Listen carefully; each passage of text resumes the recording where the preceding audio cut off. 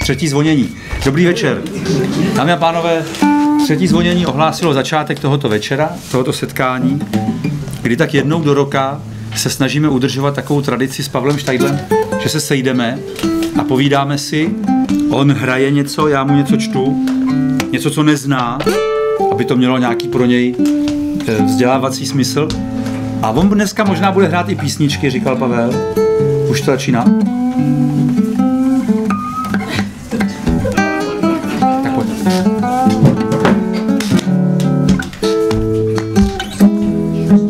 Ráno, jak vstával holka jenom pro tvůj pláč.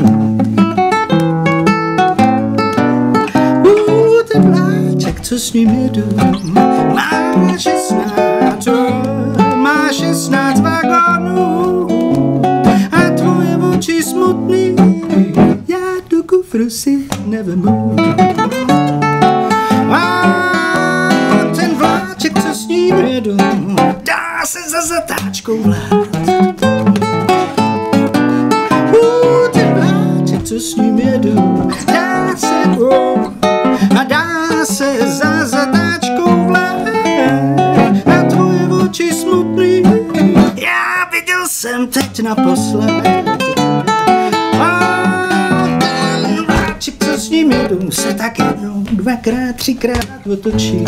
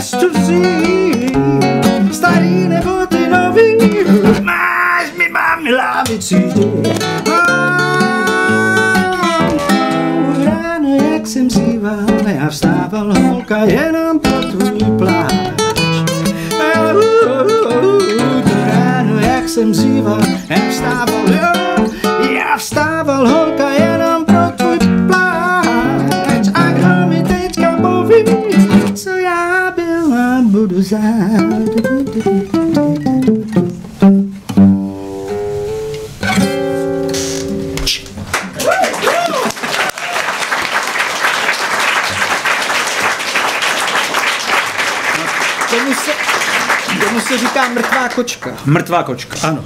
Snad poprvé v životě mě bylo líto, že nejsem žena. Jak Když jsi se mi to to mě taky bylo trošku. zpíval. A já ti přečtu tohleto, poslouchej. Jmenuje se to Aniš. Nikdo nemůže dospět, Jakube, aniž vyzraje.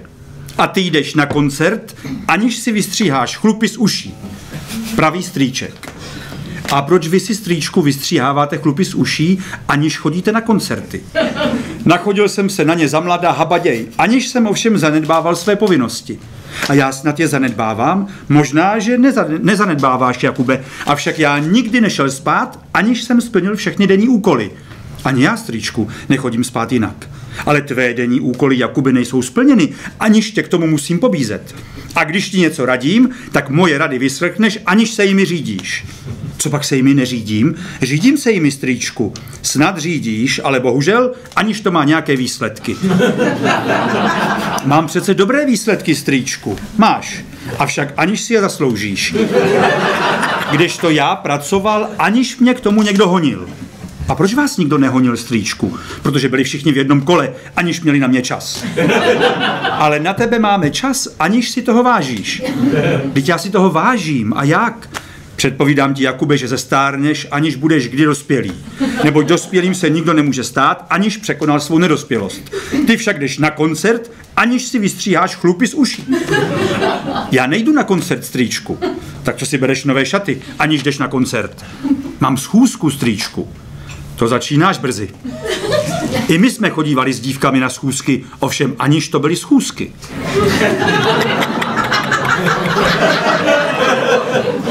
Strýčku, ale já jdu na schůzku a není to s dívkou. Jak to, Jakube? Je to dívka, aniž je ženského pohlaví? Naopak, je ženského pohlaví, aniž je to dívka. Jakube, já ti nedovolím odejít, aniž se přiznáš. Je to žena, strýčku. Cizí žena? A to říkáš, aniž se zastydíš. To není cizí žena, strýčku. Ty máš tedy schůzku se ženou, aniž je cizí? Vysvětlí mi, vysvětlí mi to, Jakube. Je to moje žena, strýčku. Tak ty máš tedy ženu, aniž jsi ženatý? Jsem ženatý strýčku už tři roky. Tak ty jsi tři roky ženatý, aniž s tebou vlastní žena žije? Ano, protože jsem ženatý, aniž máme byt. A jak můžeš být ženatý, aniž jste měli svatbu, Jakube? Měli jsme svatbu, když jste na ní byl. Já jsem byl tedy na vaší svatbě, aniž jsem si to zapamatoval. Tohle jste celý vy dneska, Jakube.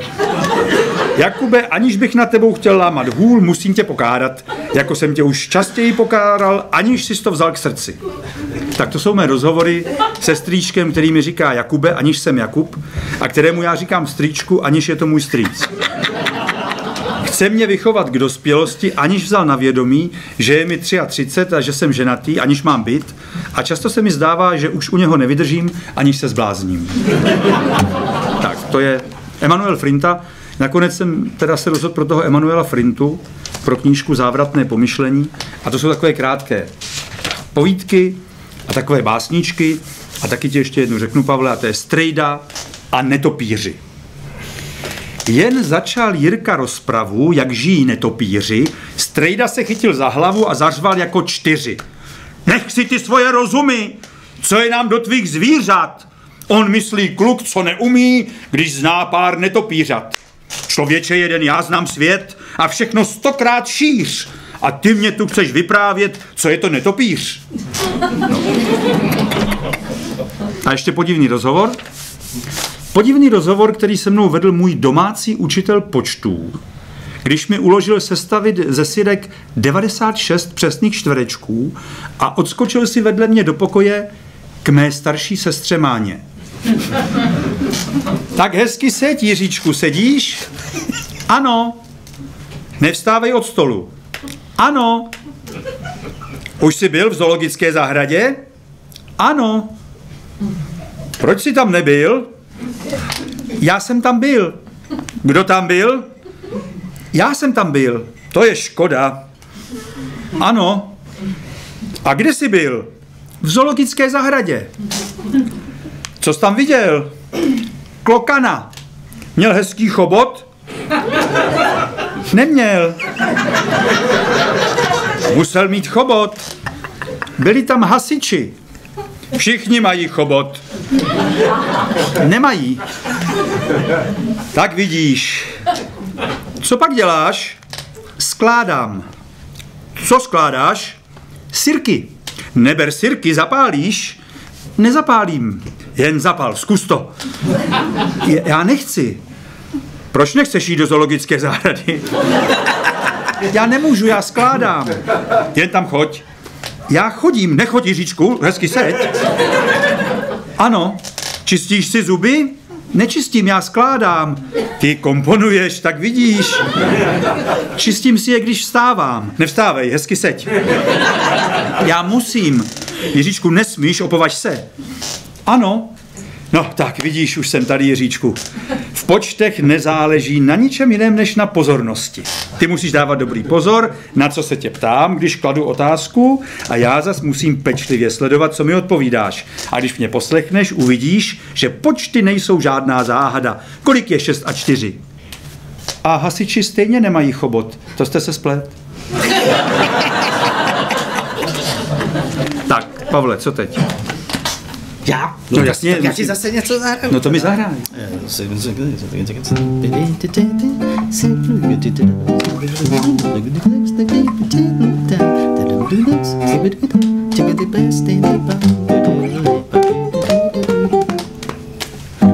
Brzuká, cvrček brzuká, na mezi píseň pro milence.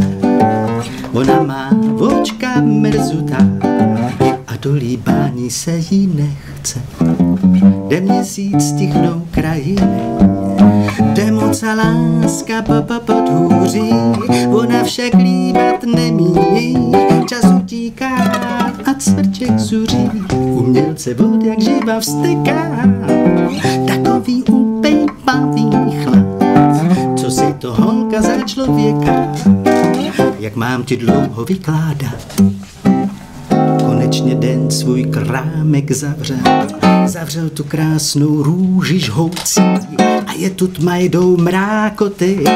Konečně jsem se potkal z nocí a ústa s těmi naproti. Cvrček se zlobí, dohrávaje závěr své drobné sonáty. Je ohřátý a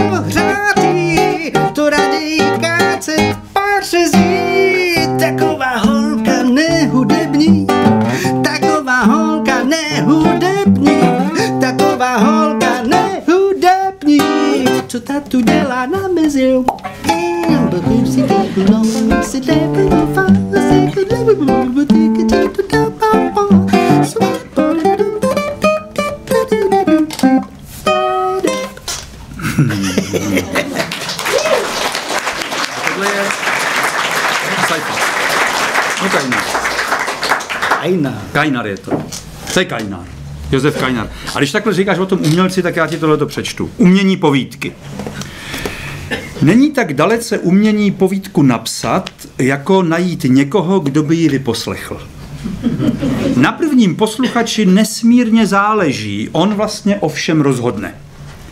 Má asi takovou důležitost jako autor, ne větší. Proto musí mít řadu výborných vlastností. Mezi nimi na prvním místě upřímnost. Já mohu o této věci mluvit s klidnou myslí, takového svého člověka mám. Kdykoliv něco napíšu, vydám se k němu a naleznu vše, co potřebuji. Řeknu teda, jak to bylo včera. Avšak tím nelíčím jen včerejšek, pokaždé je to prakticky stejné a někdy ještě daleko stejnější. A ty už jsi zase tady. Vítá mě srdečně jako vždy už na Prahu. Zrovna rozdělávám ep- epoxid a budu pokládat stůl u makartem. Jestli si to nikdy nedělal, to nevadí, budeš mi takhle aspoň přistrkovat. On sám jeden je na to málo. Horší to bude s tím zalisováním. Něčím to budeme muset zatěžkat. Když budeš tak laskav, naplníš tamhle ten prádelný hrnec vodou, ale to musíš v koupelně, tak ho sem potom došoupáš a budeme z nejhoršího venku. Vidím, že přemítá, až mu naskakuje žíla na čele. Protože mám k duševní práci úctu. Odcházím s prádelňákem do koupelny a záhy jej plný přivlékám. No, to je na zatěžkání málo, hořekuje přítel. Přece to nesfušujeme. Koukej se, v pěti liberní, víš, kde to je? Budou spravovat dlažbu. Skoč tam pro pár těch vytrhaných kostek. Žena ti dá na to kufry. To chceš, abych kvůli tvému veškostnu olupoval sídelní město? Ha, snad se bojíš. Teď to tam zase vrátíme. Tady jde jedině o kvalitu toho zalisování, aby to sedlo.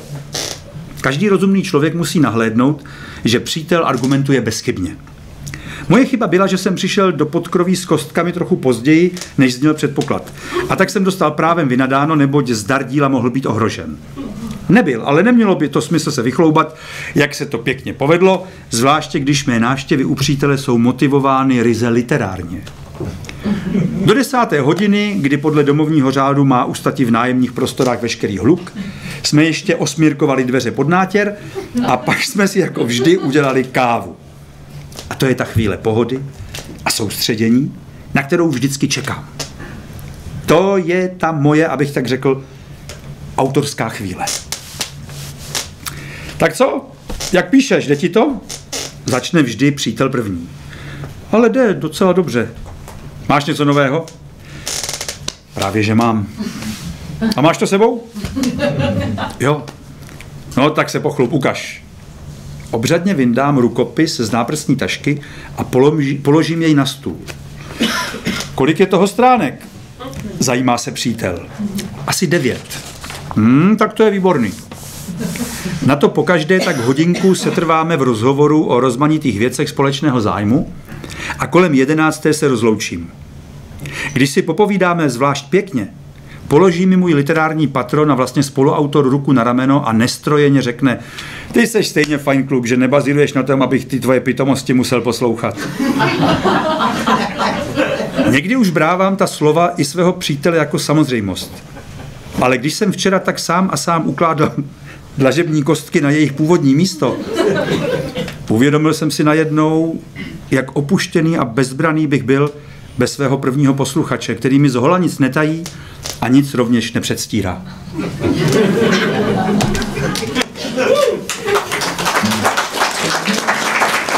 To je jenom k tomu, k tomu, jo, počkej, tahle je dobře. Hraj, hraj do toho. Ty světla. Jo, ty už rovnou budeš zpívat do toho. Ne, ne, ne, nebudu, nebudu. Hele, bezhlavost.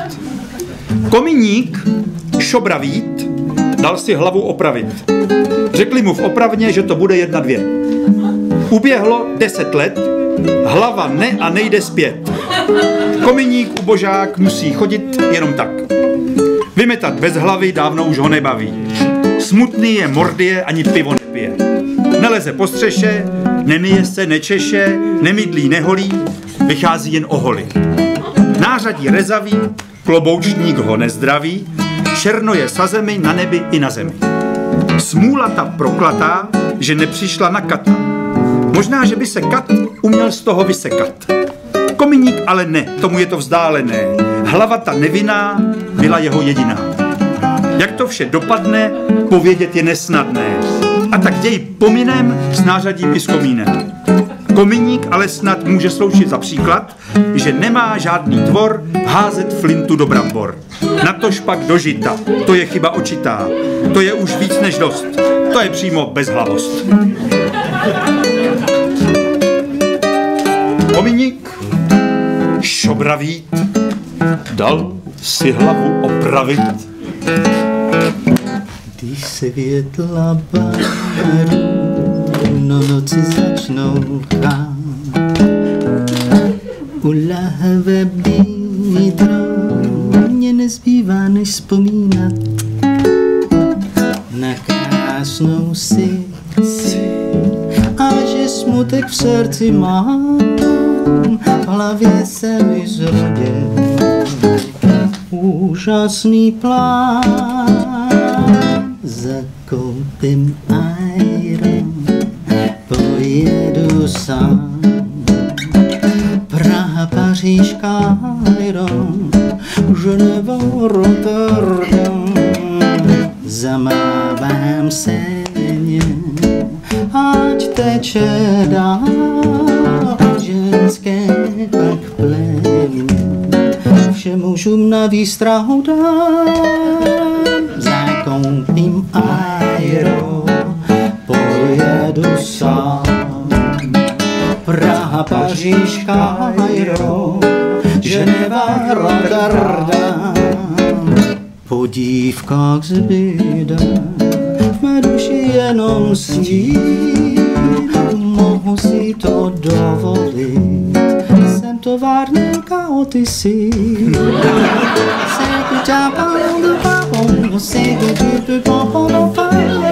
je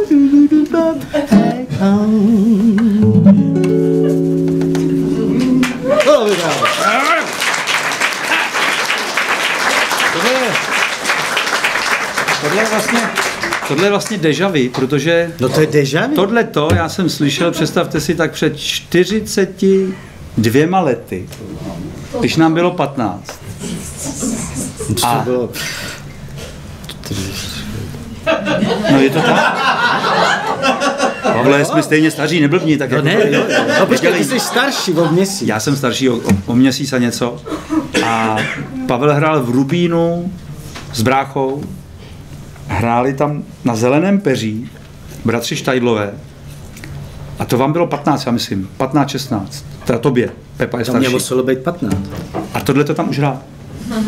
Tehda. A ty, to, ty ty písně hraješ někdy, že si je tak Ne, ne, ne, vůbec ne, právě já jsem je nehrál asi strašně dlouho.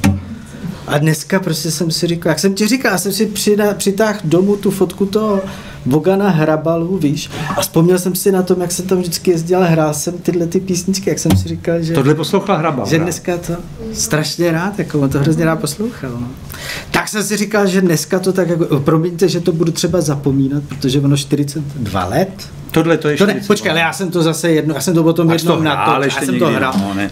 No, ale už ne tak často. Děti jsou strašné na dospělé, nemají kousaka citu v těle. A na kde co se na pořád dovedou ptát a ptát a ptát. To dospělí už po staletí se citlivě vždy ptají dětí jen na jediné. Kolik je ti, chlapečku? Kolik je ti let? A když pak slyší třeba pět, úžasnou, je, jej toto letí, nechápou, jak se mohlo stát, že jim už bylo 50. Tak a teďka bydlo. Že ty máš ty tvůrčí muka a bydlo je, to je o tvůrčích mukách. Já nemám tvůrčí muku. Prosím vás, kdybyste vy mě pořád nevyrušovali v jednom kuse, to je vyrušování pořád, sourání, já nevím, to aby měl člověk nervy ze železa. Přece když píšu povídku, vidíte, tak mě nechte. To musíte sem za mnou pořád chodit, nebo co? To si vzpomene, tohle, ten si, ta, tamhle to, já mám poslouchat vaše nesmysly a tady ná, nápady mi utíkají. To myslíte, že ty nápady kradu? Chytám to ze vzduchu asi podle vás, ne? Kolikrát vám to budu vysvětlovat? Mám nápad, to je křehká věc, to je východisko, z toho výjdu. A jak mi to někdo zaplaší, je konec, tak to je amen. Vy mě nevyrušovat, vy na mě trochu brát ohledy. Kde už jsem dneska byl? Ještě mi sem někdo vleze, tak uvidíte. Tak počkat. Tak jedem. Na zahrádce máme bydlo. A ne, to je jako ze školního úkolu. To. Na zahradě je bydlo, ješ, ovšem co ješ, ješ. Nebudu dávat do první věty ješ, to by chtělo nějaké tlustší sloveso. Rozkládá se nebo prostírá se. Co dělá bydlo? Bydlo se, bydlo se, bydlo, ano. Na zahradě nachází se bydlo. No, zas mi řeknou, že to je germanismus. On to není germanismus, ale řeknou mi to, no. Mohlo by se tyčit, ale to by muselo stát, to nejde. A proč ne? A proč ne jest? Na zahradě jest bydlo, no tak. Jenže na čí zahradě? No tak na, na naší, no tak na naší zahradě jest bydlo, no to, to by šlo. Až na to jest. Jest, ale ne bydlo jest, to není, to není Bible, tohle. Takhle uděláme to bez slovesa. Když bydlo v naší zahradě, a má to docela spát. Ta, ta, ta, ta, ta, ta, ta, ta, ta. To je jako ta písnička Vím jednu krásnou zahrádku zatraceně. Majíce na zahradě bydlo. Ne, to spíš ovšem, ne takhle, takhle. Na zahrádce v tom, ne, tak, takhle, aby to nevypadalo. Majíce na zahrádce bydlo, na zahrádce určitě, ale kdo majíce? To je zmatek, to je zmatek na začátku hned, tohle to nejde. Přechodník ne. Začneme jednoduše. Na bydle v naší zahrádce a jsme rovnou v ději. Tak. Ale to bydlo se tím zase nevypíchne. Ta předložka ho zastře a to bydlo je to hlavní. No tak dobrá, takže předložku pryč, zbývá bydlo v naší zahrádce a to by se mohlo přes někoho ozvláštnit, že na něm utkvěl pohledem, nebo tak podobně, nebo ono by to šlo, no ale tak tak jak máme už to bydlo, to už se dá čarovat, no. A ten začátek bude takový bohatší, tak kdo pak... Kdo tak by mohl jít kolem? Zvěrolékař? Bubeník, jeptiška, ginekolog, to by strhovalo pozornost. Listonoš. Já tam dám kdokoliv. No jasně. Kdokoliv pohleděl na bydlo v naší zahrádce, nebo, nebo tam dám někdo. Když někdo v naší zahrádce zahlídne bydlo, no jo, ale tam vlastně tam není od někud vidět, to je horší přes ty keře. Tak to přesuneme do zimy a je to. Kdokoliv přes holá křoviska na naší zahrádce zahlédne bydlo, teď je to tam nějak moc zase, no. taky by šlo tu zimu přímo vyslovit a tím je dáno, že větve jsou holé. Mrazivou závějí, Bedříšku, Ježíš Maria, už jsem to mohl mít teďka. Ty, zrovna v tom okamžiku, já bych do toho kopnul teda, jedeš! A zavřít dveře pořádně. No, a je to. Mrazivou závějí, a já to nechám na léto je to, je to lepší v létě. Zahrádka, bydlo v létě. Kdokoliv, ne, proč kdokoliv, uděláme to lapidární. Na naší zahrádce je bydlo. Tak. No. U nás máme na zahrádce bydlo. My máme na zahrádce bydlo. Ne, prostě ne, prostě na zahrádce máme bydlo. Tak to je ta věta. Na zahrádce máme bydlo. A je to. To je bronz, to je věta jako ulitá, hotovo. Alenko, slyšíš mě? Co pak si utekla? Už můžeš, už to mám. Už jsem to chytil, už mi to nikdo neveme. Povídej, co jsi chtěla. Ty jsi tak na mě zlej. Já jsem ti chtěla jenom říct, že na zahrádce nám někdo ukrad bydlo.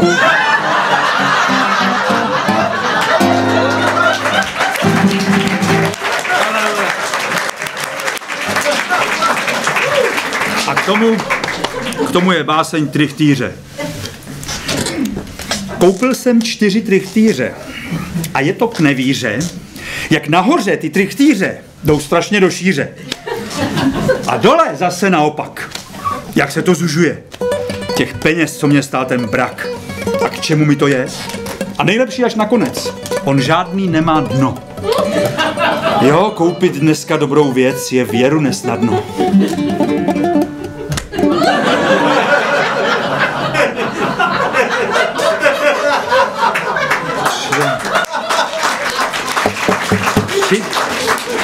Přitom taková blbost.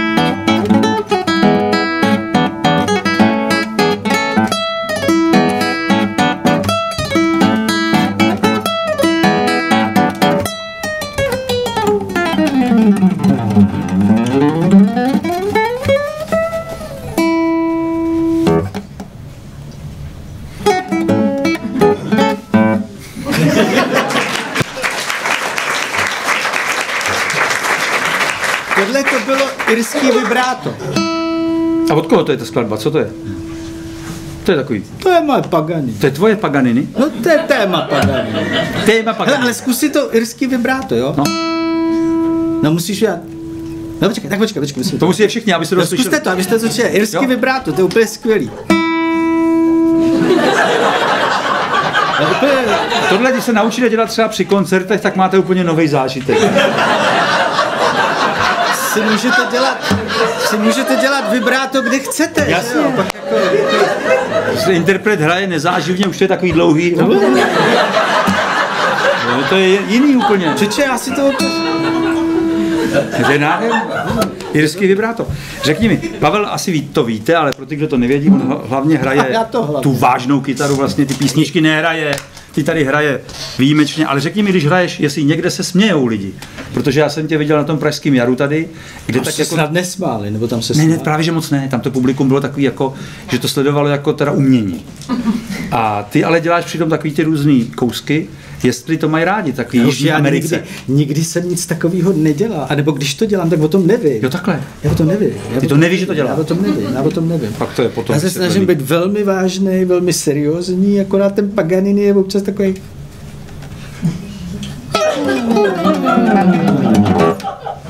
To je jako těžký potom. Tak- No to je těžký. chechtaj se někde, když hraješ. Jo.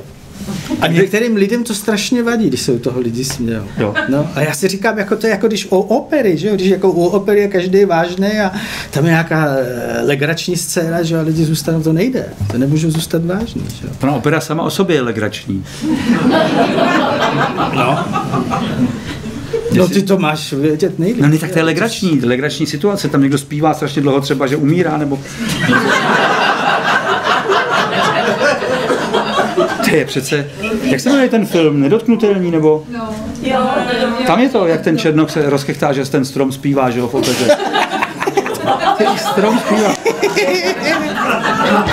Ten se nám přece válí smíchy v tom. V tom. A kde se smějou nejvíc? Kde jsou takový, jako to, to publikum? Jižní- Poslední. Mexiko? Poslední se směje. Poslední se směje nejvíc, já vím, ale v takových těch zemích, protože ty hraješ pořád všude. Čeče v Mexiku jsou strašně vážní. V Mexiku. Tam jsou strašně vážní. A kde jsou veselí? Čeče, Finové? čeče ku podivu, já bych řekl, že se nejvíc smějou v Německu. V Německu? No. Jo. Ale vážně, když člověk, když jedeš do Bayernu, jo, tam se smějou pořád, jako těm se to líbí strašně. V Německu? V Německu. Jako je, to, je, to, je, to, je, to, je to těžký to akceptovat, že jo. To je teda úplně... Ale oni opravdu se smějou nejvíc. Já jenom Naposled. tak chci najít báseň Angličan, víš, když si řekl to Německo. Tak mě naskočila básnička, ale já teďka ji nebudu umět najít. Takhle.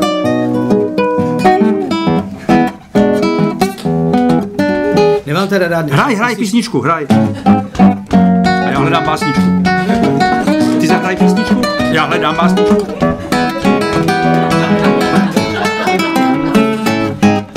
To se ví, že oba jednou umřem. Nekoukej na mě, je to tak. Umřem a nebudem a trhne to trochu malý černý zibem. A pak už má úcta. A květinky se z díky odmítají vrškám. Za to nemůžu, že oba jednou zhyneme jenom, že pak, pak budem lít, zámkatým a sladkým Bernardinem. So pa pa pa pa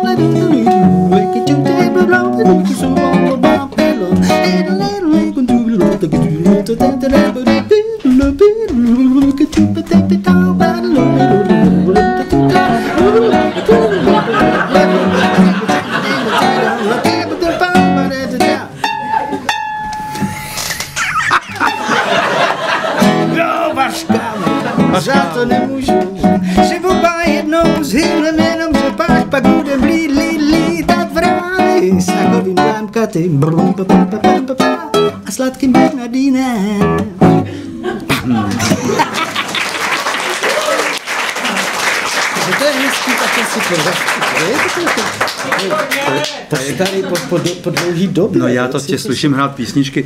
Ty jsi vždycky nechtěl hrát. Nechtěl. On se vždycky nechal přemlouvat, aby zahrál písničku. A dneska už nehrajou nic jiného. Pavle, tak k těm, k těm Němcům tady mám pro tebe Angličané. Jo? Angličané jsou námořníci a slečny oslovují mis. Co o nich ale musím říci, že nedovedou pravopis. Už jejich první omyl je ten, že píšou i a čtou to aj. To jako kdyby psali květen a vyslovovali to máj. Je mi jich líto. Hlavně dětí. Co ty s tím mají za dřinu? Já musel napsat jen tři věty a myslel jsem, že zahynu. Ta hrůza, než se naučíte pár slovíček a natož stran a u nich každé malé dítě musí být rovnou angličan. To je naprosto krásné.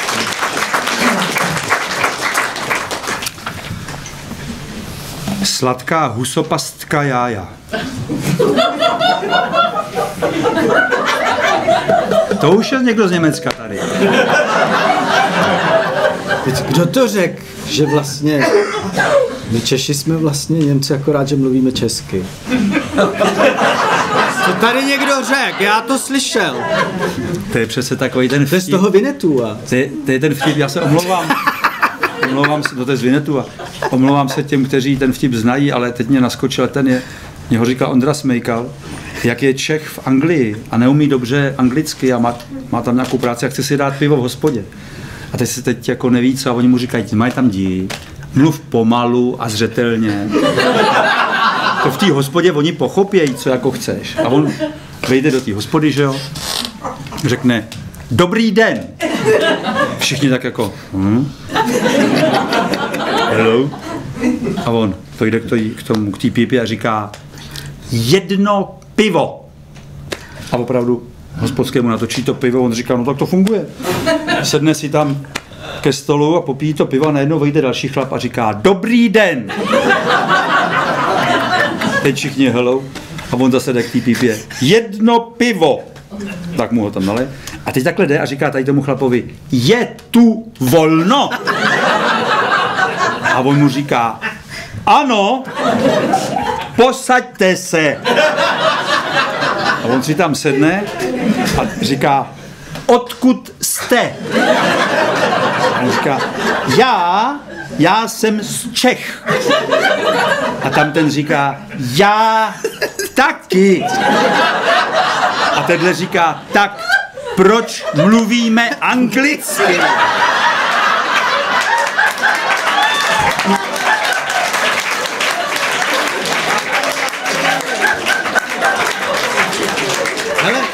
Člověče, já mám takový choutky zahrát taky takovou tu písničku, takovou tu, jako tu international, víš, takovou tu, pamatuješ na to? Já jsem mi napsal, že mě bylo asi 14 let, aniž bych tušil, že se z toho jednou stane to, jako radši to vystřelit, jako víš co, já myslím tam to.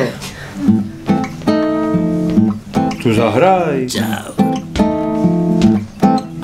A vrával Pindi, kdo by tomu uvěřil. Laila, klávu, moha matrasu. Malý krásný pákistánec na. Čau.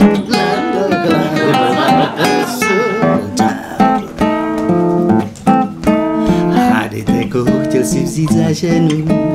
Laila, klávu, moha matrasu. Dceru magnáta naftovýho koncernu. Laila, klávu, moha matrasu.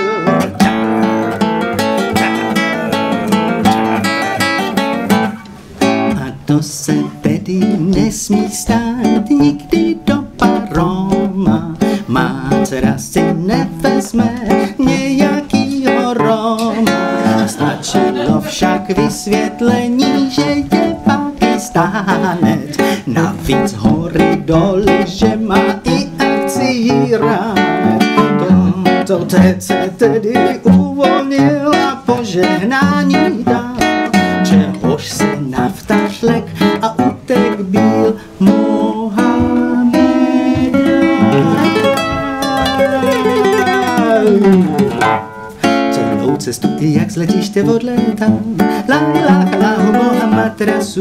Přemýšlel, jak by ty zlý taury potrestal La ilaha la Mohamed Rasul A nedivte se, proto řádník přestane. La ilaha la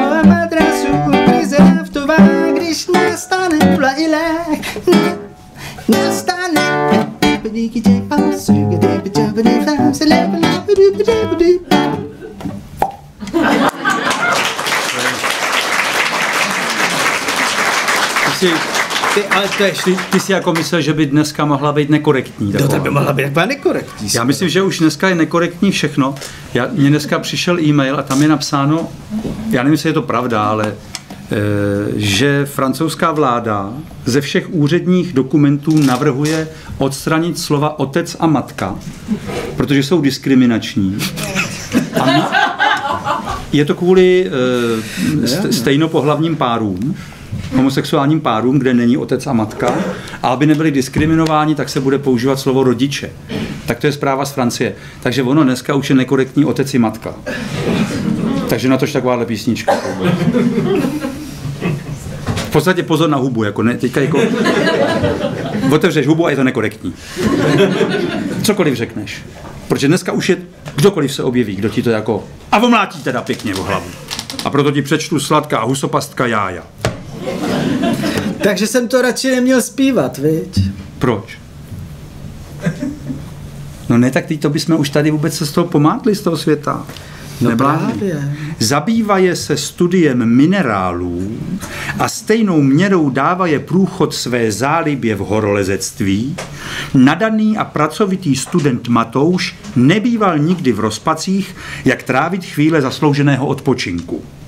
Jeho láska k slídám, kizům, křemenům, vápencům a sádrovcům vedla vždy jeho kroky do srázných hor a rozeklaných údolí. Leč tentokrát bylo tomu jinak. Vykonav s výborným prospěchem závěrečné zkoušky sobě k uspokojení a k radosti svých rodičů a učitelů, počkal mladičký Matouš, počal mladičký Matouš přemítati o místě letního pobytu.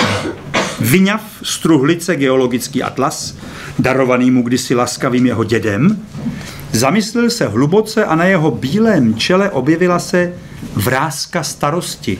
Neboť nastojte, nad pestrými stránkami geologických map našich zemí, v nichž mu věda ukládala vyhledat krajinu hodnou jeho zájmu, náhle se před jeho úžaslým zrakem počal vznášeti líbezný zjev sladké husopastky, mávající vrbovým proutkem u hejna žlutých housátek. Toto kouzelné zjevení bylo tak nevýslovně vábné, že mladý vědec podlehl. Spronevěřiv se poprvé svému půzení k velehorským masivům, obrátil se na českomoravskou pahororkatinu. Líbezný obraz ho zval ještě hororoucněji a on hororem pádem spěchal za přeludem. Nevybíraje cestu a nelekaje se překážek, okousl, okouzlený hororolezec pádil o překot, až zbuzoval u vesničanů po hororšení. Ty tam byly plány na studium horornin, neboť zmámené hororkokrevné údy poutníkovi toužili za hororizont, kde dlela sladká husopastka jája marné vše. Tak bylo psáno v jeho hororoskopu. Poslyšte, tcháne, pravím mírně, začal jste pěkně po svém způsobu, avšak nemohu se ubránit do pocitu, že do vaší povídky se od jisté chvíle počaly dráti neotesané výrazy, protivící se vašim záměrům i vašemu klasickému vkusu. Máš pravdu, Jáchyme, odtušil tchán. Však jsem tou věcí také opovrhl a opustil ji zcela. Vystaven zhoubnému vlivu četby stejně nezralé jako nezdravé, podlehl jsem ve slabé chvilce módním výstřelkům. Avšak není mi zatěžko vyvarovat se podobných zrůdností na příště. Zamýšlím ušlechtilou romanci z dávných dob a znám již její název. Bude se jmenovati Kontesa Horortenzie.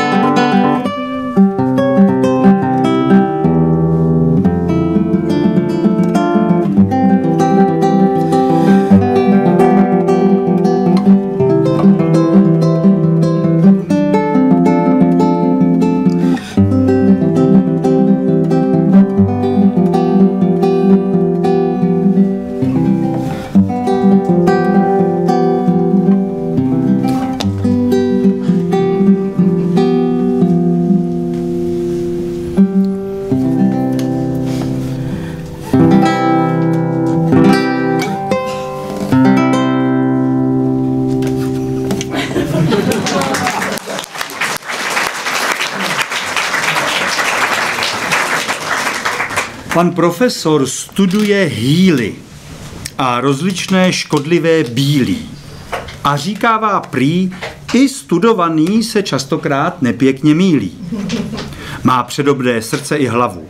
A proto má v ulici slávu. A nemine den a některá z žen ho chválí, když kupuje kávu. On profesor študuje Haley a různý to škodlivý Bailey.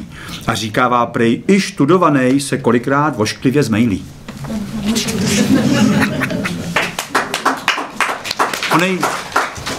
Onej rofer alfa. Pardon, paní Majerová, vy jste užila výrazu erotické vákuum. Chtěl bych zavčas poznamenat, že o něčem takovém zde nemůže být řeči. Eros je konstitucionální složka jedince, rozumějte každého lidského jedince bez výjimky, a to zcela prvotně již v bázi biologické. Eros je bezpodmínečně zahrnut v člověku jakožto zoologickém druhu. A tedy zdravý, energický a tvořivý lidský samec typu pana Majera v erotu nefundovaný je zákonitě holá nemožnost. A v tomto smyslu je váš výraz erotické vákuum, dovolte mi to tak říci, semantický nonsens. Kdyby tomu mělo být tak, jak vy se domníváte, to bychom pak, drahá paní Majerová, měli před sebou takovou anomálii, že by otřásla samými základy vědění o člověku. Kromě toho kategoricky popírám, že by se celá věc naší léčbou rapidně zhoršila, jak říkáte. Ale my jsme se brali z lásky, pane profesore. Pochopitelně. Však také onejrická léčba, přesněji řečeno onejrická rehabilitace, nedělá nic jiného, než že oživuje a rozvíjí tuto původní přirozenou motivaci vzájemného vztahu partnerů. Zdá se, že jste dost přesně neporozuměla podstatě onejrické terapie. Třeba, že princip je zcela jednoduchý. Podívejte se. Jde o intervenci kulturního archetypu do hlubin duševna prostřednictvím snového obrazu. V našem případě je žádoucím snovým obrazem amor, jakožto notorický symbol milostného vznětu. Tento obraz je oneiroferem alfa pacientovi importován jako obsedantní sen. My lidé jsme jakožto druh bytosti kulturní a v tom umělé.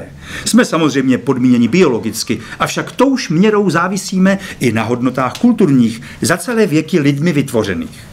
To znamená, že každá dávná kulturní prapředstava, pratyp, praobraz má na každého jedince naší kulturní sféry zcela určitý účinek. V našem případě snový obraz Amora, jakožto vůbec nejvitálnější a nejsugestivnější archetyp, atakuje psychické klima pana Majera, přetváří je v žádoucím směru a tak nutně dochází i k usměrnění příslušných funkcí somatických, tedy tělesných, chcete-li.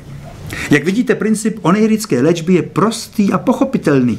A nyní tedy v příkrém rozporu s tím, co tvrdíte vy, pokládám za vyloučené, aby pan Majer po tříměsíční léčbě nedospěl k erotické obnově. Nedospěl, pane profesore. Přece vám nelžu. Já vím, já vám věřím, paní Majerová, že nechcete lhát. Ale rozumějte, je zhola nemyslitelné, aby tak ojediněle dlouhodobý a koncentrovaný onejrický atak zůstával bez výsledku. A ještě se to naopak zhoršilo, pane profesore.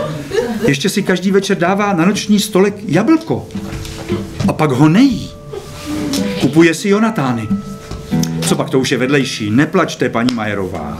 Chci říci, že je nemyslitelné, aby onejrický atak, notabene preparátem Alfa Forte, zůstával bez výsledku u případu tak modelově nadějného.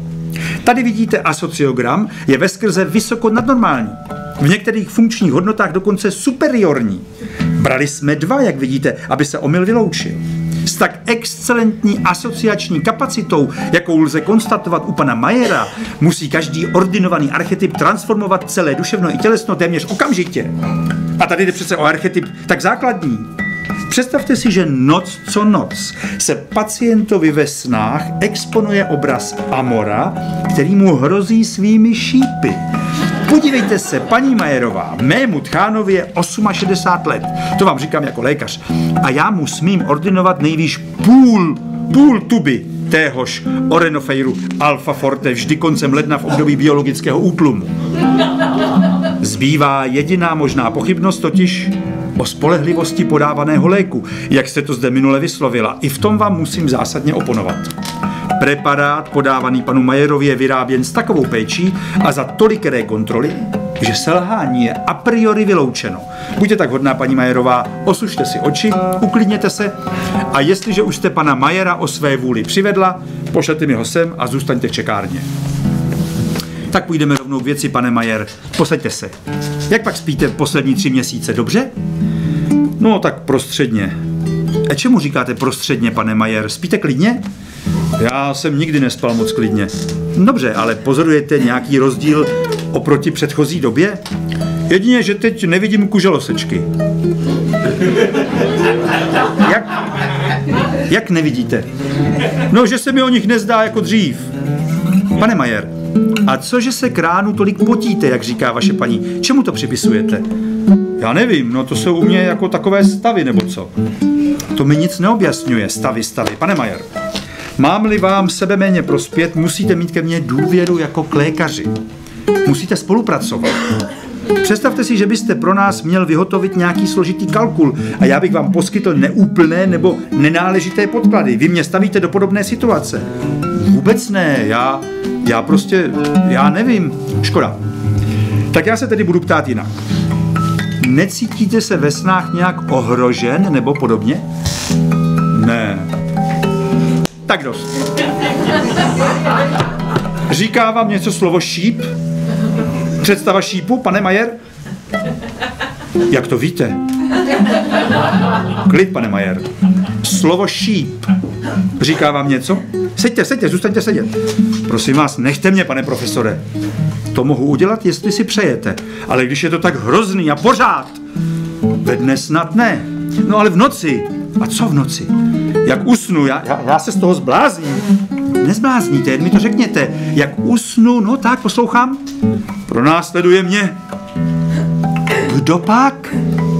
Jak usnu, jak zavřu oči, tak mě každou noc honí Vilém Tel.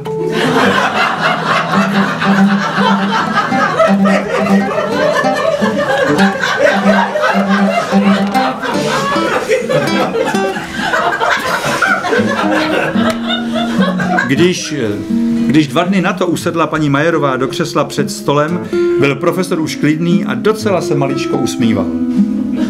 Podívejte se, paní Majerová, cestu už známe.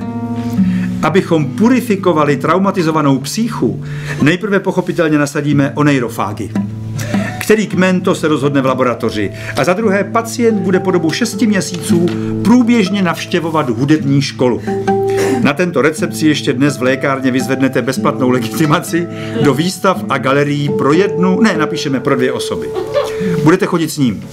Ovídia bude pan Majer poslouchat v kroužku asistenta Roubíčka vždy v úterý a v pátek od 6 do 8. To je prosím všechno. Věřím, že budete šťastní. A ještě něco, paní Majerová. Když sestra s vámi dělala anamnézu, proč pak jste neuvedla, že pan Majer jako zázračné dítě navštěvoval už od první třídy matematickou větev?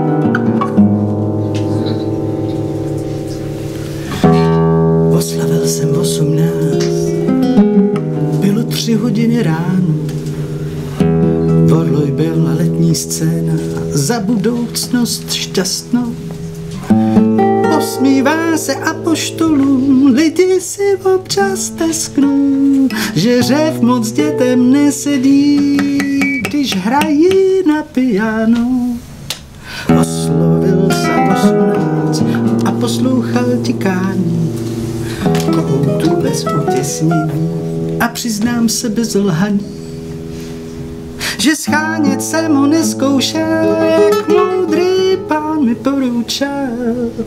Takhle ten kohoutek mi odkapává čas. Přesýpací hodiny a digitální stroje stěží asi budou mít na časoměry moje No kdo se může pochlubit, že vo vrěmě svých narozenin připíjí si dospělí na zdraví. Časem z kapalniny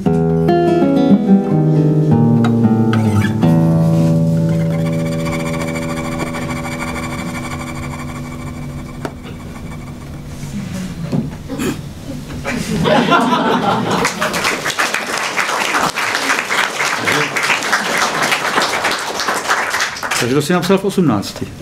No asi jo, člověč. Prosím tě, a jak je taková ta písnička? Ty jsi mi jednou to hrál do telefonu.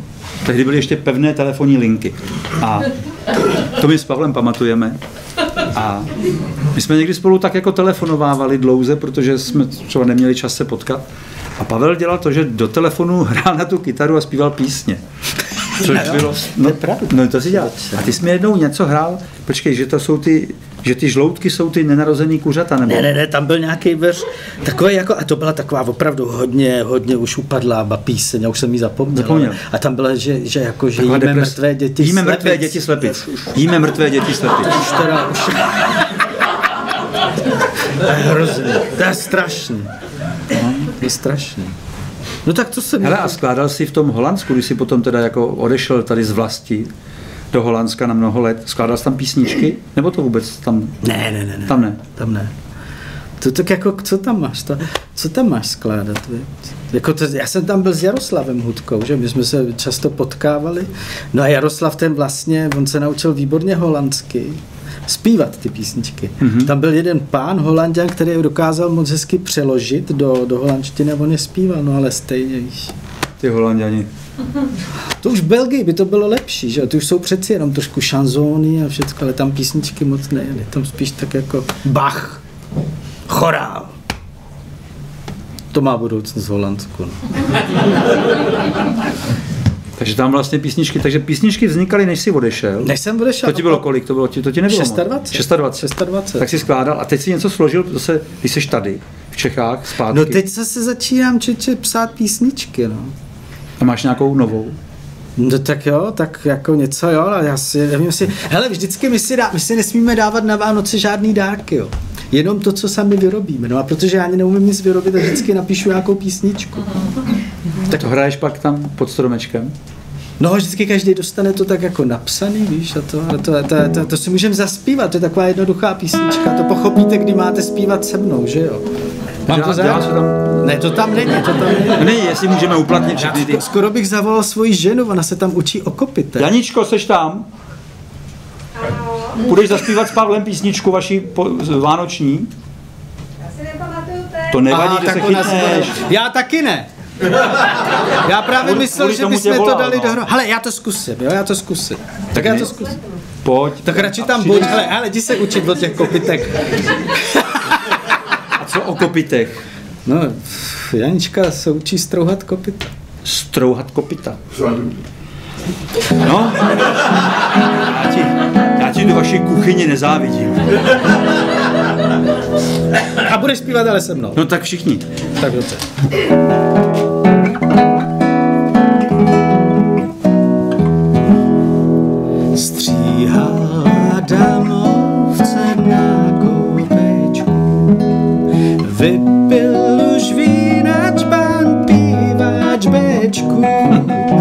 Přišel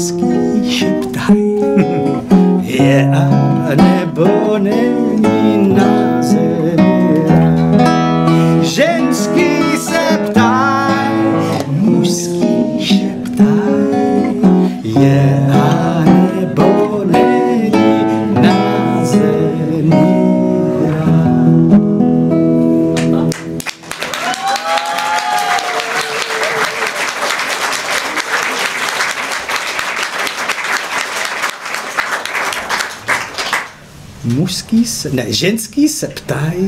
Mužský šeptá, no, já to chápu. A to bylo člověče najednou jak, jak rána z čistého nebe. Ten verš myslím, rozumíš? Jo, takhle. A ten, který jsi zapomněl, to nevíš, který. No, to, To byl jako nějaký slabší. A on to byl takový slabší. A mě tam vždycky, mně se tohle to vlastně Wow. líbí skoro víc než... Je to? Ale já to tam nechám. Nech to tam. Já to tam nechám. To je docela dobrý. Takhle se tvoří. Že jo? Já to tam. Tak čti. Žomežámo Lochman. A tu, tu jsem vybral právě pro Pavla tady tu. Jak mi je ukazoval, hned se mi ty housle zdály trochu veliký. Z domova jsem věděl, že se dělají půlky, tři čtvrtky, jedničky a podobně, ale tohle mohly být tak aspoň dvojky až dva půlky. Možná i větší. Když jsem si je zapíchl pod krk, bylo dost těžké je udržet. Ten člověk v tom krámě na mě koukal tak pitomně, jako kdyby viděl houslistu prvně v životě. A, a když jsem mu ukazoval, jestli má kratší, tak jiné neměl. No to víte, obchůdek s míšeným zbožím v takové díře, jako je Triumfo de Nuestra Señora, kam připlouvá říční parníček jednou za šest měsíců. Co si o tohohle můžete slibovat? Ani bych snad ten byl nástroj nekoupil, ale v tom jsem zahlédl přes zaprášené okenní sklo supy kroužící v nehybném žáru nad pampou a povídám si, za těch pár pesos budeš mít hochu kousek domova. Vysypal jsem peníze na pult a ještě ten večer jsem na ranči odepínal nástroj ze zadku svého hnědáka.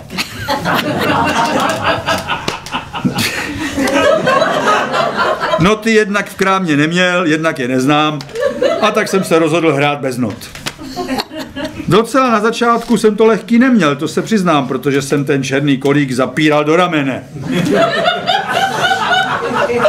Pak jsem, pak jsem ho zkoušel držet pod paží, ale po 14 dnech mi světlo, že se ten prevít dá odšroubovat.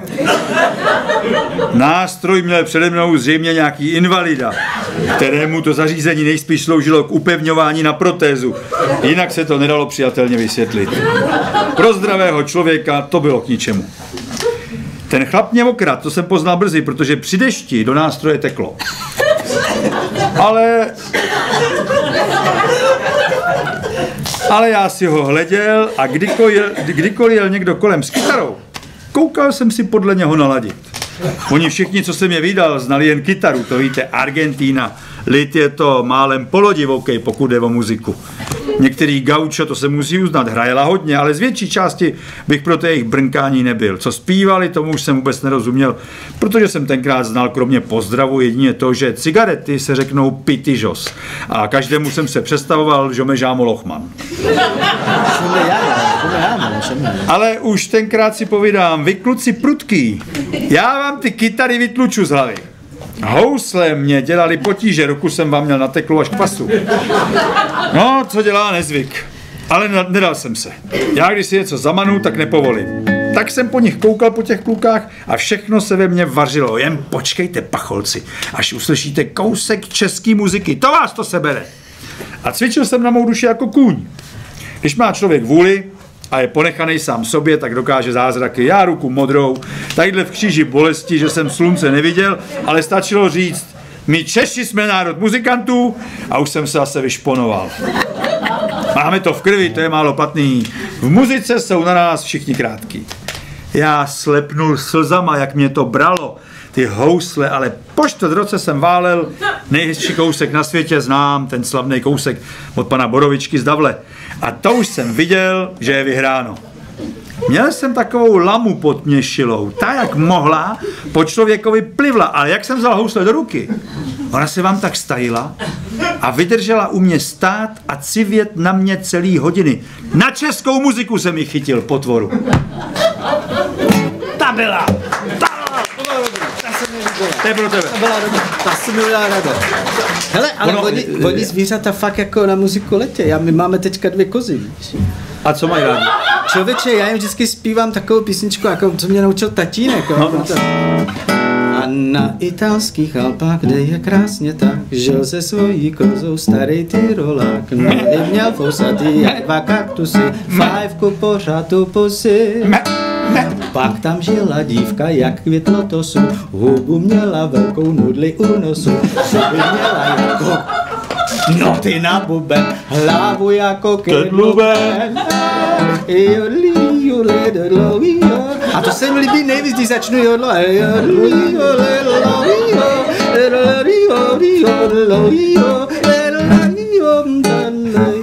Na kozy na to jedou, fakt, jako kdybyste jeli. Jako hudba a zvíře, to jde dohromady. A koně, co mají rádi koně? Tak to je těžký, člověče. Jako koně si jako hned tak, jako to musíš si dát bacha, člověče. Hmm. To si fakt musíš dát bacha. A hlavně jako ono k ním se přiblížit s kytarou je docela těžký, zjistil jsi to? Jak to? Já to zkoušel, ale jako to, mně se to nepovedlo teda. A mají nejradši Paganiniho.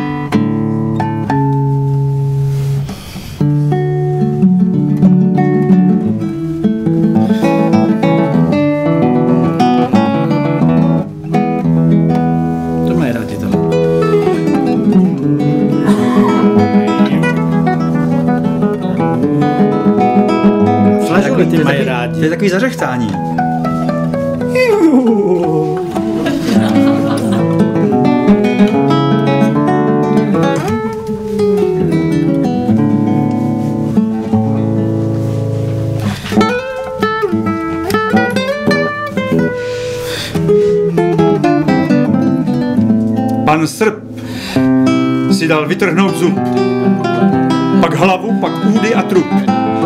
Má pokoj a klid. Už nemá proč klít a cítí se naprosto fit.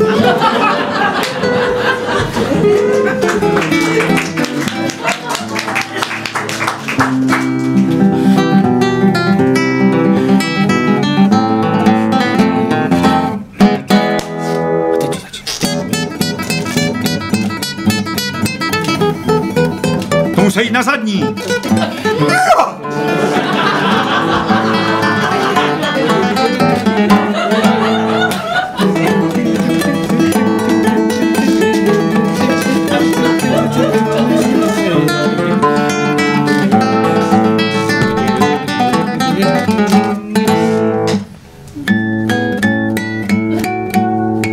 Když tuhle k nám přišel pan Soukal, tak pořád se po mně tak koukal.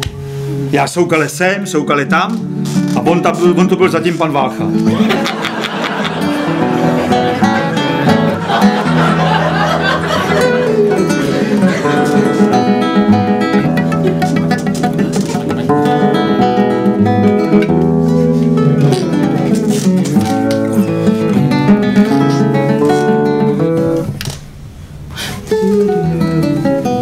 Známo, že pan Šatra pro krejcar nezná bratra. A včera kvůli korunce prý skočil hlavou do hrnce ze 14. patra. A když mu soused na to řekl, člověče, vy jste vadný, to nemáte strach o mozek, on pravil, nemám žádný.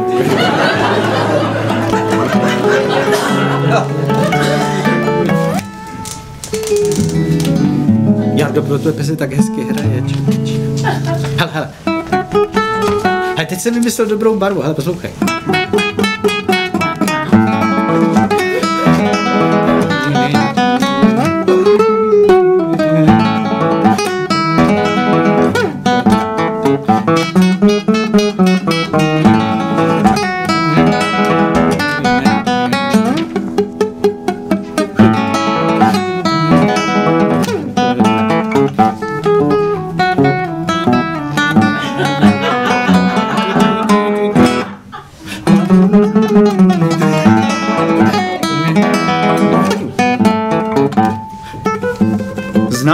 parku myš. Ta jak mě vidí, obyčejně se rozbrečí. Vy pořád myslíte vy lidi, že svět je jenom člověčí. Tak jí dám vždycky kousek párku a čtu jí paní komisarku. A ona se pak usměje, teď vy jste pro mě v tomhle parku jak ten myš dobré naděje.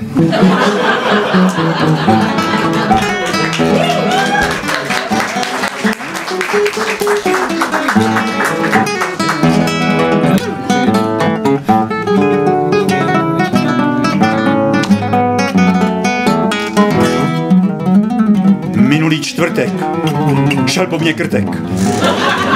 Že jsem mu po tvoře jen tak tak utek.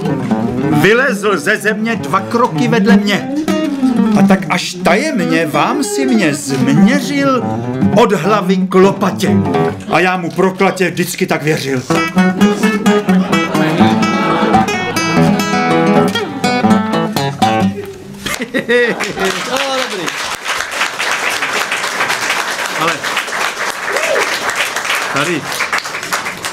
Tady je taková výborná, nesmyslná. Tyhle ty věci, abyste pochopili, Emanuel Frinta, ty povídky a to všechno, to vyšlo po jeho smrti. On vlastně si to psal jako črty, jako skici. On, eh, on vlastně za život vydal velmi málo knížek, byl hlavně známý jako překladatel, velmi teda dobrý překladatel. A tohle to vyšlo po jeho smrti jako takový výbor, o kterém si myslí všichni ti, kteří ho znali, že on by to nedovolil vydat, protože to nebylo hotovo, nebylo to doděláno, byly to skici jenom. Kapr na stromě. Usednout kapr na stromě a vyspěvovat v listí, tak by vám stejně jako mně připadal dosti pitomně. O, tím si buďme jisti. Je taky celkem jasné proč. Jednal by proti zvyku. Vždyť kaprovi jde víme oč o vodu, když to červotoč zas žije v prádelníku. Na zpěv a let je zvyklý pták. Pól na polární záře, peřina ovšem na povlak a proti tomu zase vlak spíš na železničáře. Indián říká uf a pach, víly jsou ve směs lůzné, armáda chodí v kalhotách a komín má, jak známo, tach, hlavně když hodně mrzne. Dopis má bílou obálku, loď pluje přes poledník, sekira seká do špalku, babka má brýle na dálku a na nudle má cedník. Velryba nejí klobásy. Před pátou bývá čtvrtá a pravdu má, kdo prohlásí, že nevyrůstá do krásy ten, kdo se v nose vrtá. Kopito, pytel, pivo, prak, všechno má svoje místo. Sikora, sisel, sněhulák. A buď moc rád, že je to tak. Ty jeden pesimisto.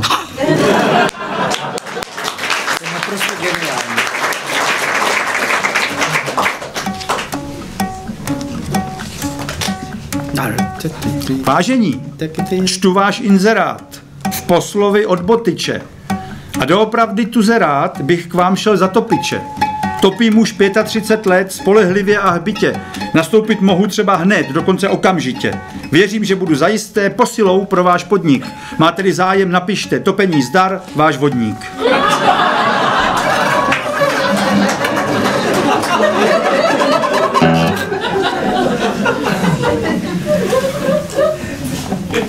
Znám záhadnou obludu ze sna. Je nesmírně velká a děsná. A i když mám jen ten nejmenší sen, tak ona se do něho vtěsná. Závratné pomyšlení, tak se jmenuje ta knížka. Je to závratné pomyšlení, pravil doktor Hejnic, obcházeje vzrušeně kolem stolu. Představte si to. Já pamatuji svého pradědečka a můj pradědeček pamatoval robotu.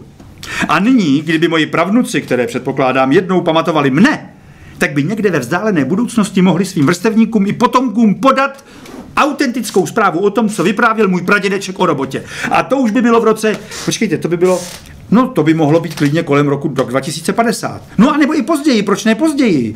Uvažme průměrnou délku lidského života. No, délka lidského života se neustále prodlužuje. Ano, tak tedy vezměme generaci. Kolik se počítá jedna generace? No na generaci, co já vím, se vždycky počítávalo 25 let. A to není moc. Hm. Zamyslel se doktor Hejnic. Uvažte, že v dnešní době se lidé později žení a vdávají. Myslím, že nechybíme, když na jednu generaci budeme počítat, řekněme, 30 let.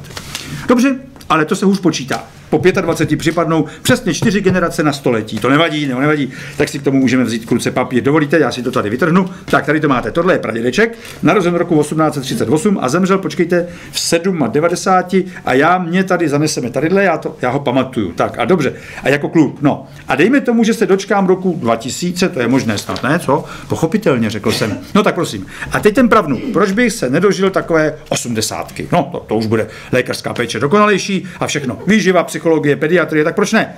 Gerontologie taky, ano, i ta gerontologie, vidíte? Tak, takže to už jsme u roku kolik? To, to je, no to je 2800.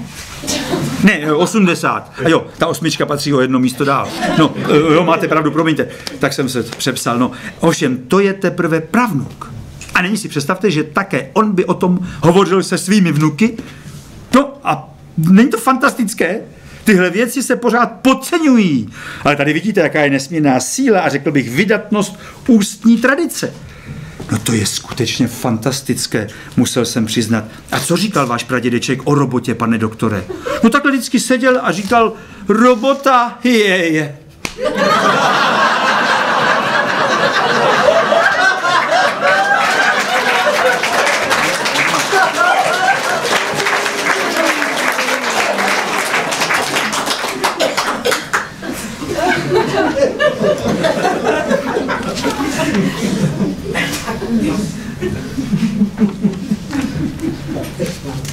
Jo, jo, jo, jo, já jsem...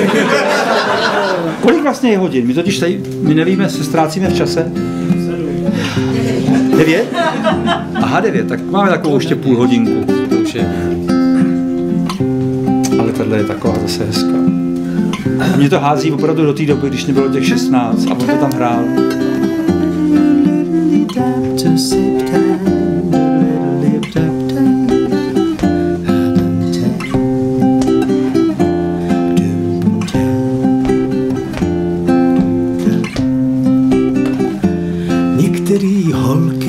si myslí, že svět je černý kožíšek.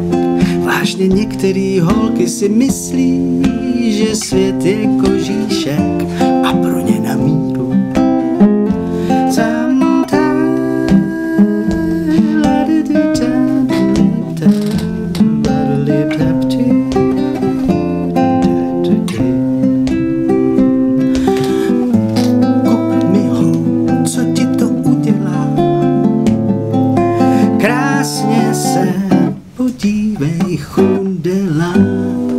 když pak spolu jdete, máš celý vesmír s jednou holkou v. A když pak spolu jdete z žebrácký uličky až kam si na vítěznou vržou ti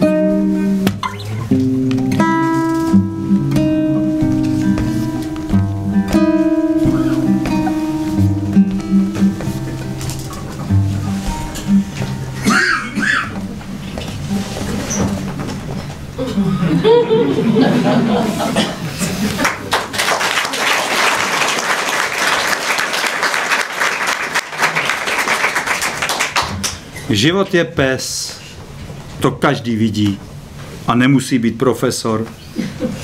Život je pes. A pro nás lidi je pes už dávno známý tvor. Život je pes. A už to samo kde koho časem poleká. Život je pes a pes, jak známo, je věrný přítel člověka. Život je pes. A zuby cení a usmívá se po očku. Život je pes. A proto není rozhodně není pro kočku.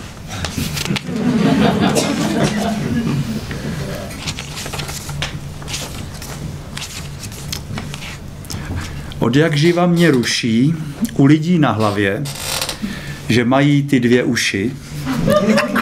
Teď je to ohavné. Čouhá to na dvě strany, ještě to odstává a jenom při česání už je s tím otrava. Není to vlastně vkusné mít uši z obou stran. Přitom, když člověk usne, zůstanou do kořán. Ke všemu za pár neděl jsou celé špinavé. A taky bych rád věděl, proč máme zrovna dvě. Vždyť každý, přece, eh, vždyť každý vidí předem, jak je to zbytečné. Nos máme jenom jeden a slouží výtečně. To jedno by se dalo tak celkem ještě snést. A když je jedno málo, tak proč jich není šest? Slyšeli bychom ostře. A hlavně mnohem víc. V poměru k lidské kostře dvě ouška jsou jak nic. Jen nám to všechno hýbá, žlučí a vlévá zlost. Taková hrubá chyba a nedomyšlenost.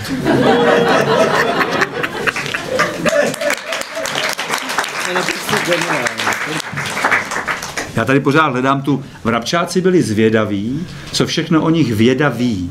I letěli to vyzvědět až do Akademie věd.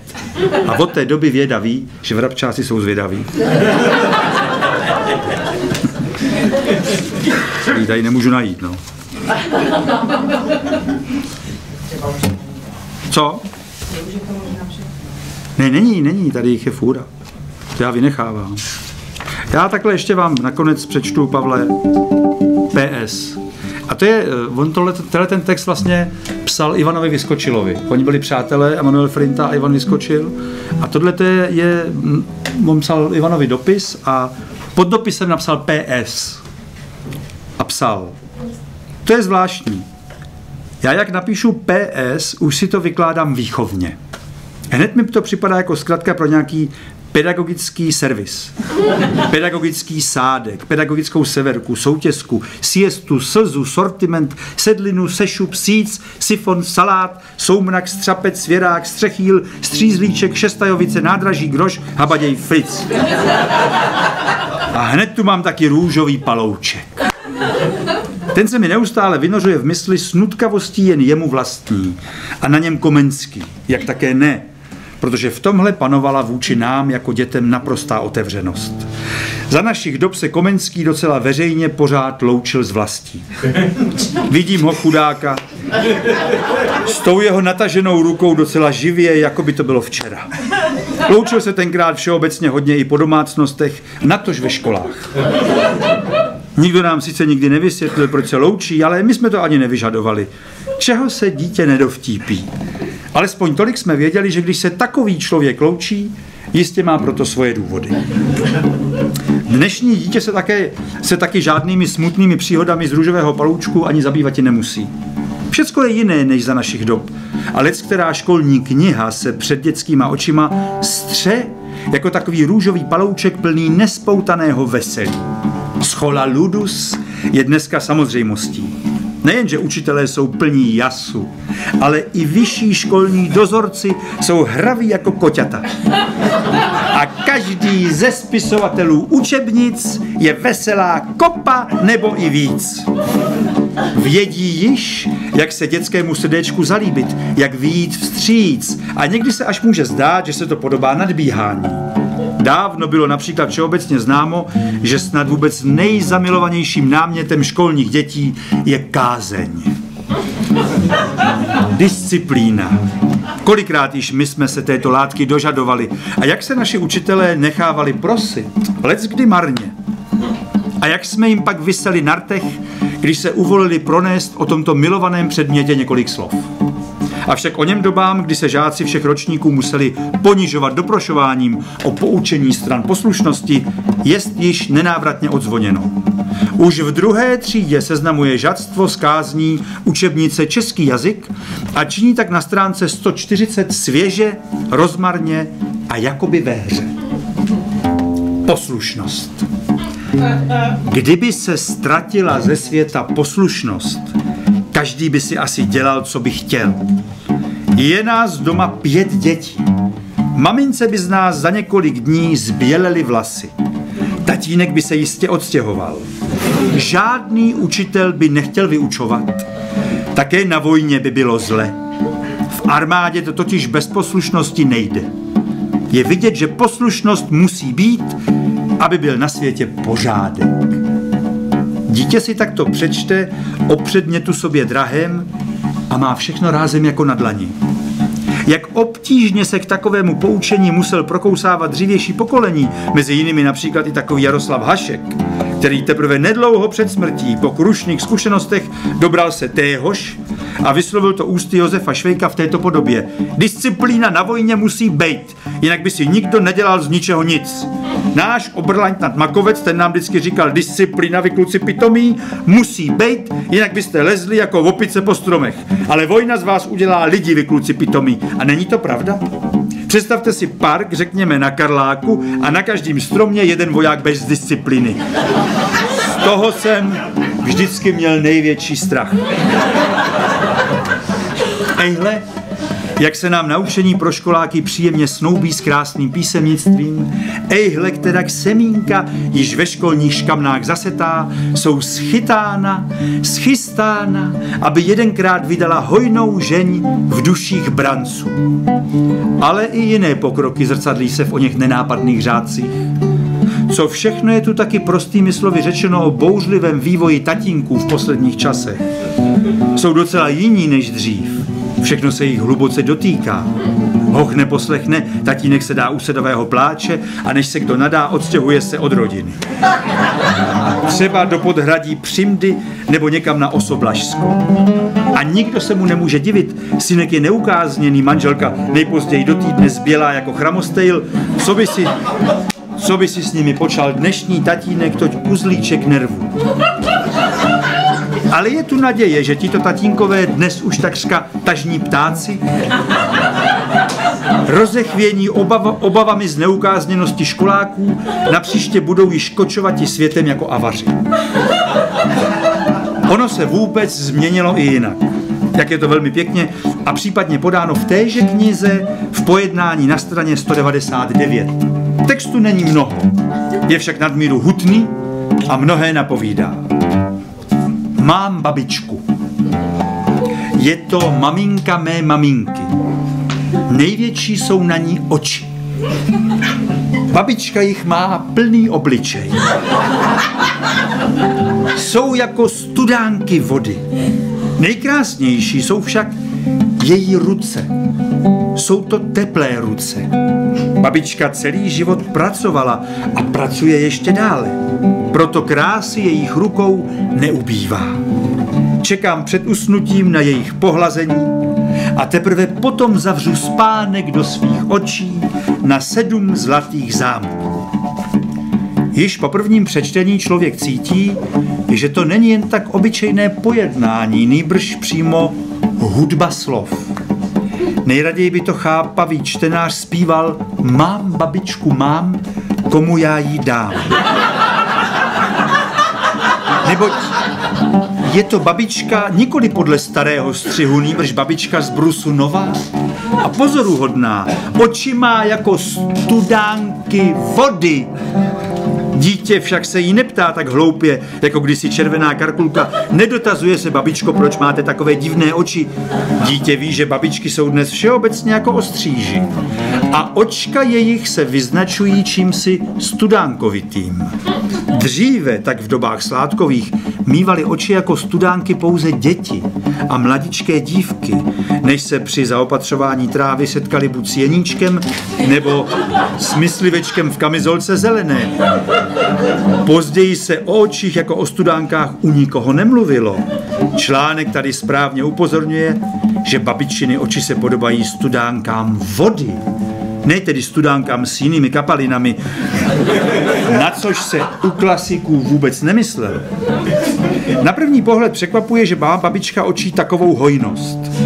Autor sice neudává přesný počet, ale musí jich být v skutku nemálo, když bez obalu praví babička jich má plný obličej. Pro vnuky je to výhodné, neboť taková babička i v částečné dřímotě je dostatečně ostražitá, aby zabránila úrazu. Hůře už je to s kterýmkoliv vyhlédnutým dědečkem. Na něhož se to množství studánkovitých očí z nenadání upře. Na němž neobyčejná okatost této babičky spočine s vroucím zalíbením. Takový dědeček je ztracen. Neboť lidová moudrost dávno říká, mnoho psů, zajícova smrt. Natož pak oči. A babička roste do krásy. Hodlala si kdysi na stará kolena dobíti úcty svými mozoly a vrázkami, jako kdysi známá babička Boženy Němcové, avšak zůstalo jí to odepřeno. Ani krásy jejich rukou neubývá, o ostatním nemluvíc. A tak zatímco vnouček ještě sešlý nezralostí, odbíhá je od písemných prací, co chvíli zvadlé ruce sobě zahřívá, babička již se dávno vylízala z nevzhledu mladosti, natřásá se před zrcadlem a inzeruje středoškolačka 165 lomeno 63 Intel Okatá vlast byt s upřímným odevšud značka do 65 let. Jaký styl, jaká vybroušenost pojednání.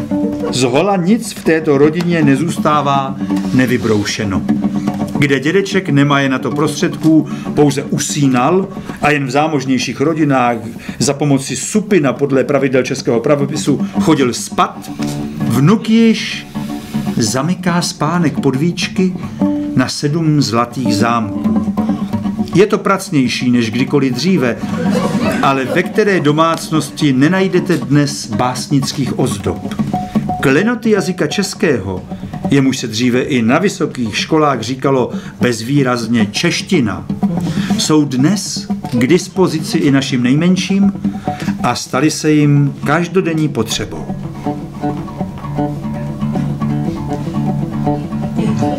No, no to ještě pokračuje, ale je to dlouhý. Pokračuj.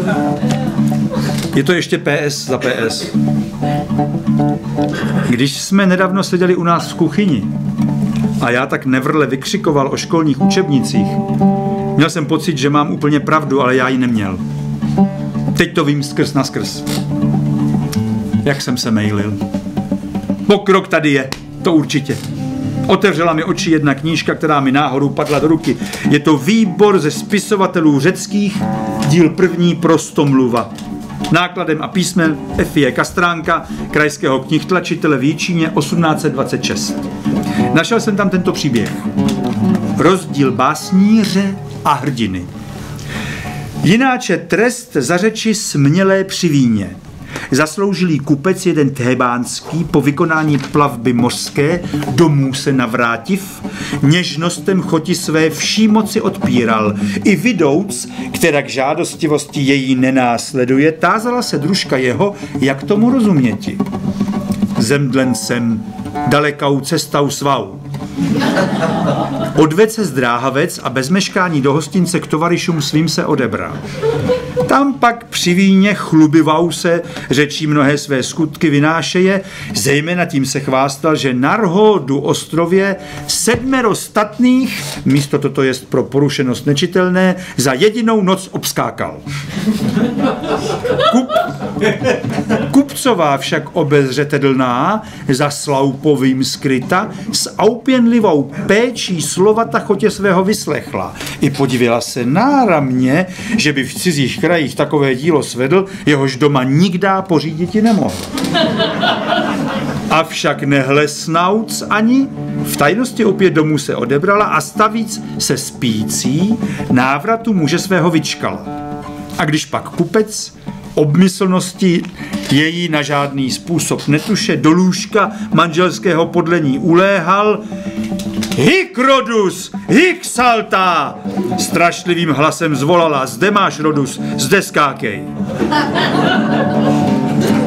Rodus pak po Česku, co růžovej ostrov, Rozen Inzel vyjádřiti se může. I vyskočil kupec, aučinkem slov těch jakoby za chřtán uchvácený a z auleku se probrav, vzlikati počal nad nemoudrostí svou. A důmění pokornosti před chotí svou učiniv, v slzách přislíbil chvástavosti své budoucně v úplnosti se vystříhati. To znamená, že ještě knížka, kterou v roce 1826 vlastenecké mládeži obětuje překladatel, ponechává historku v její původní, nevýchovné podobě, nebo jinak výchovné. Nám byl už příběh předkládán v takovém zpracování, že se nám rčení hic rodus hic salta stalo jednoznačným nástrojem mravního poučení. Nám zůstanou ta slova navždycky spojena s představou skoku vysokého, ušlechtilého atletického zápolení a vůbec kalokagátie. Umožnil to nepochybně rozvoj a pokrok pedagogiky, která od těch dob jistě i celou řadu dalších nechutností antiky přepracovala v duchu pokroku. Mohu to na ní vyslovit téměř s jistotou, neboť jsem například v učebnici Český jazyk pro čtvrtý ročník ZDŠ nalezl věty ve směs pouze krásné a morálně bezúhoné, jako například po jaru, létu a podzimu přijde opět zima. Malé kotě je hravé. Voják stojí vedle medvěda. Domácí cvičení je prospěšné. Je to až k neuvěření, co všechno se dělá ze dřeva. Bez dřeva by se těžko žilo. Naše pole oživuje koroptev. Kdyby mě někdo hledal po země kouli, ne, nenajde mě nikde jinde než v Československu. A tak podobně. Jsou to věty, které jsou nejen mravně na výši, ale i obsahově hutné plné nových poznatků a jistě vhodné k tomu, aby si dítě mateřštinu zamilovalo. A kdo by snad nesouhlasil a poukazoval třeba na stránku 68 zmíněné učebnice, tomu mohu odpovědět, že zcela dokonalá a bez jediného klopítnutí nemůže být žádná kniha. Natož pak učebnice vydávaná v ohromném nákladu. A kromě toho se ještě chci zeptat, komu by to prospělo. Ani učebnice nemůže dítě zcela ušetřit závanu skutečného života. A co se autorů týče, tedy i veliký Homer si někdy zdřímne. Ke ctě autorů uvedené pasáže na straně 68 je notabene třeba říci, že závadné slovo nevy... nevyslovili naplno.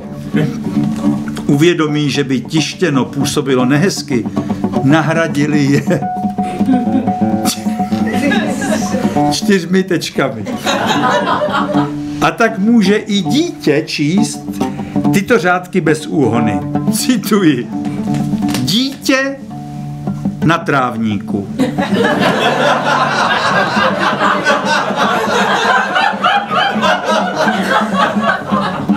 Dědeček ke kamnům. Stařec oholi. Vrabec na střeše. Cestující na nádraží. Lidé v parku. A přitom jsou v textu ještě další výchovné hodnoty. Tak například věta třetí nevtíravě učí žadstvo soucitu se starým, zesláblým mužem, který se musí při tom, co žadstvo vykonává hravě, takřka v běhu, opírat i o hůl. Jinými slovy, jako člověku, jemuž pokrok pedagogiky leží na srdci, ti milí Ivané znovu opakuji, že moje kritické výhrady byly přinejmenším přemrštěné.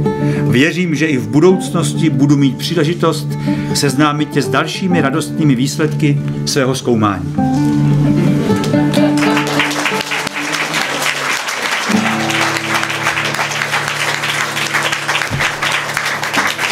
Dítě na trávníku. Dědeček ke kamnu. Stařec oholi. Lidé v parku. Cestující na nádraží. Vrabec na střeše. Všu, vrabec na střeše. Všude se něco děje.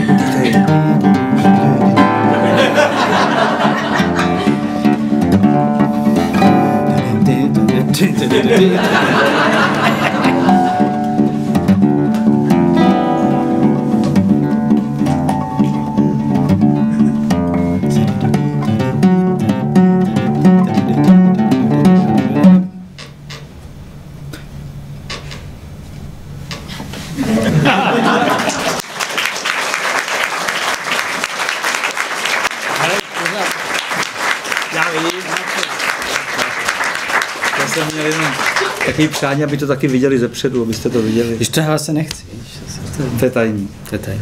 Pavle, tak už se nám to nachýlilo ten večer. Já to slyšel. Myslíš, že by si jenom, já nevím, jak, jestli máš to chuť dneska zahrát, ale já jsem teďka, jak si hrál, tak jsem si říkal nakonec, jestli by si nezahrál toho Janáčka. Člověče, tak to je, to je jindy. To jindy. A jenom vysvětli to, jak to tam musí být, víš. A jak teďka nevím, který ty myslíš?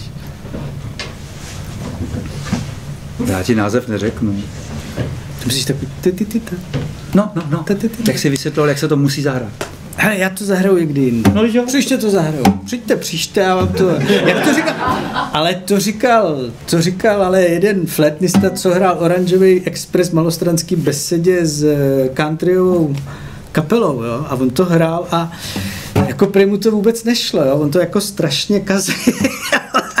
a ještě jako v tom nejhorším, jako se mu rozepnuly kalhoty, jo? Tak A on to bylo jako, a on to jako stopnul a říkal, helejte, dneska se na to čtyři tečky. jo. Ale příště, přijďte, já vám to zahraju, že se čtyři tečky. Tak toho, tak Janáčka ne. Janáčka ne. Já to jen tak, tak víš. Ne, ne, máš pravdu, ale dneska ne. Dneska ku podivu ne. Tak se tak pomalu rozejde. Máte něco na srdci, nějakou otázku nebo něco? Mě by zajímalo, kdy jste se potkali. Kdy? Vy dva, no. No právě, když já ho viděl v tom Rubínu. Já jsem chodil na zelený peří, Mirek Kovařík dělal zelené peří, to byl pořád verše mladých autorů. Tam mladí autoři buď to četli sami své verše, nebo je četl Mirek Kovařík, nebo Radka Fidlerová, nebo Lenka Machoninová. A kdo? Pavla tam myslím taky, že? No ale výjimečně. A on tam zval Mirek Kovařík různá hudební seskupení, tam třeba hrálo číslo popisné 8, eh, tam hráli úžasný, takový jako v objevy, on, on tam zval lidi, mladý, mladý hudebníky.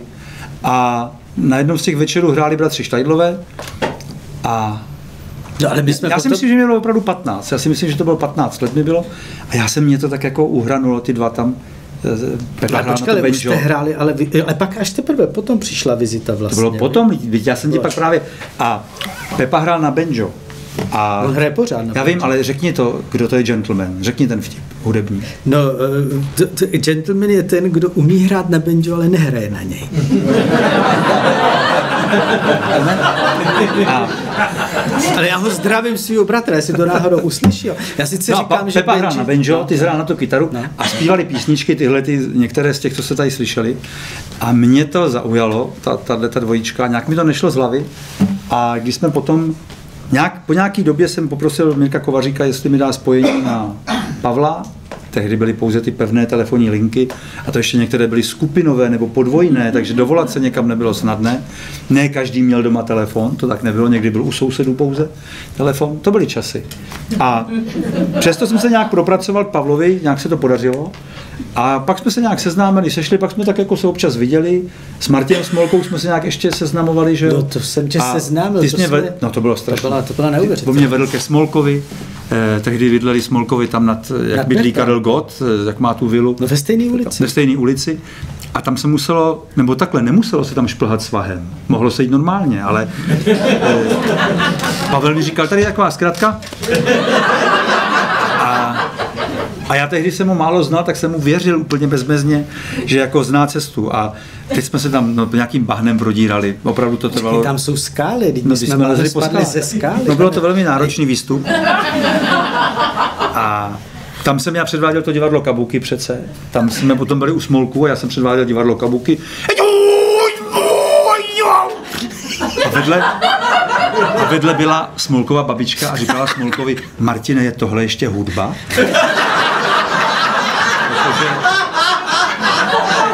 Protože, Martin Smolka je vážný hudební skladatel a tehdy se zabýval, jeho tatínek hudební skladatel, že tak se divili, co to je tam za zpěvy, jestli to je ještě opera. Tak takhle jsme se nějak seznámili a pak, když jsme začínali s Honzou Bornou, když jsme udělali divadlo, když jsme udělali divadlo Vizita, když jsme začínali hrát to představení srslení, tak jsme tam chtěli mít nějaké hudebníky a hrál s náma Vác- Václav Koubek tehdy, který je s náma na takové desce, která pak vyšla, jmenuje se to Ozvěny malých scén, tak tam je s náma Vašek Koubek a taky s náma hrávali kluci Pepik eh, s Pavlem, takže to nám bylo 19, když jsme začínali hrát s Bornou. Tak to mi bylo 19 roku a to jsme hráli tehdy společně, jsme se tak scházeli občas na jevišti. No a pak, pak Pavel vyhrál tu světovou kytarovou soutěž v Paříži, kde porota, porota právě pronesla tu větu pro boha on ladí jako tramp. To si, to si pamatuju z toho článku v Mladém světě, když on si dal kytaru na pravý koleno, na pravý stehno. při Jo, takhle, ladění. no, přesně. Já to pořád tak dělám, no. No a porota, ten člověk ladí jako tramp a přesto vyhrál tu soutěž tehdy v Paříži, což mu tak jako otevřelo ty dveře a Pavel nelenil a odjel do Holandska. Tak mě tenkrát ta Ascalona šla opravdu velmi dobře, takže to jako... To šlo krásně. No a pak jsme se teda neviděli nějakou dobu, protože žil v Holandsku. No a vrátil si se potom vlastně docela, Až po 18 letech jsem se vrátil. to znamená, to už byl rok 2000 nějak. 4 2000. 2004, 2005 se vrátil teda tady do vlasti a od té doby tak se scházíme a občas si zahrajeme. Abychom si udělali radost, protože Pavel je hodně ve světě, a hodně hraje venku. Vlastně ty hraješ víc venku než vevnitř, viď? Všude trošku. všude trošku a nebo si spolu dáme saunu u něj, u jezírka ve skryjích, on se skrývá ve skryjích, protože miluje ten kraj od ty Pavla a tam vlastně měli chatu u Berounky, že jo, tak se to tak jako vrátil na to svoje místo milovaný. A A já jsem tě navštěvoval na Sázavě. na Sázavě. občas Taky. No to ještě se Zbrožkem, když jsme hráli, že jo, tak, tak dále. no. Takže my se tak jako leta společně setkáváme a občas si dopřejeme tu radost, že si takhle zahrajeme. A já potom koukám hlavně na něj, když hraje, no, tak se omlouvám, ale tady stejně není vidět, vy. Co? Tady nikdo není. Tady nikdo není. No. Tak takhle nějak jsme se setkali tak normálně. No ono to úplně normální nebylo. Já si třeba pamatuju, že když jsme třeba jeli autem, jako, jako Jaroslav řídil většinou a Borna, Borna ten seděl vedle něj a já jsem ho viděl vždycky, když, když byly zatáčky, že ty jsi se nechal jako schoulit do jeho, do jeho, do jeho ra, že on tě objal a ty jsi, byl, jsi vůbec nekoukal na ty zatáčky, jak jsi to tenkrát vybíral. To bylo hrozně To nevím, to ne, to mě utkvělo, to mě utkvělo v paměti. Nebo si přikrýval hlavu že, svetrem, že se na to nemůžeš koukat. Ty tady, ty tady úplně si koleduješ o jednu povídku ještě, protože No počkej, tak zas to ne, takhle jsem to to se nemyslel. jmenuje Život je sen. No tak to A že ty tady říkáš sen nějaký. Jaký sní. No a tak takhle jsme, tak jsme hráli no, spolu. Když nám bylo těch 16, 17, 18, 19, 20. 20, 21, 20, no tak prostě pořád potom. Jo, to chce, to chce vztek a pivo jako kře.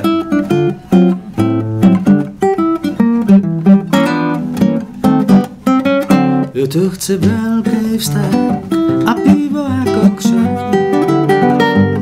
Jo, to chce velký vztek a pivo jako křen.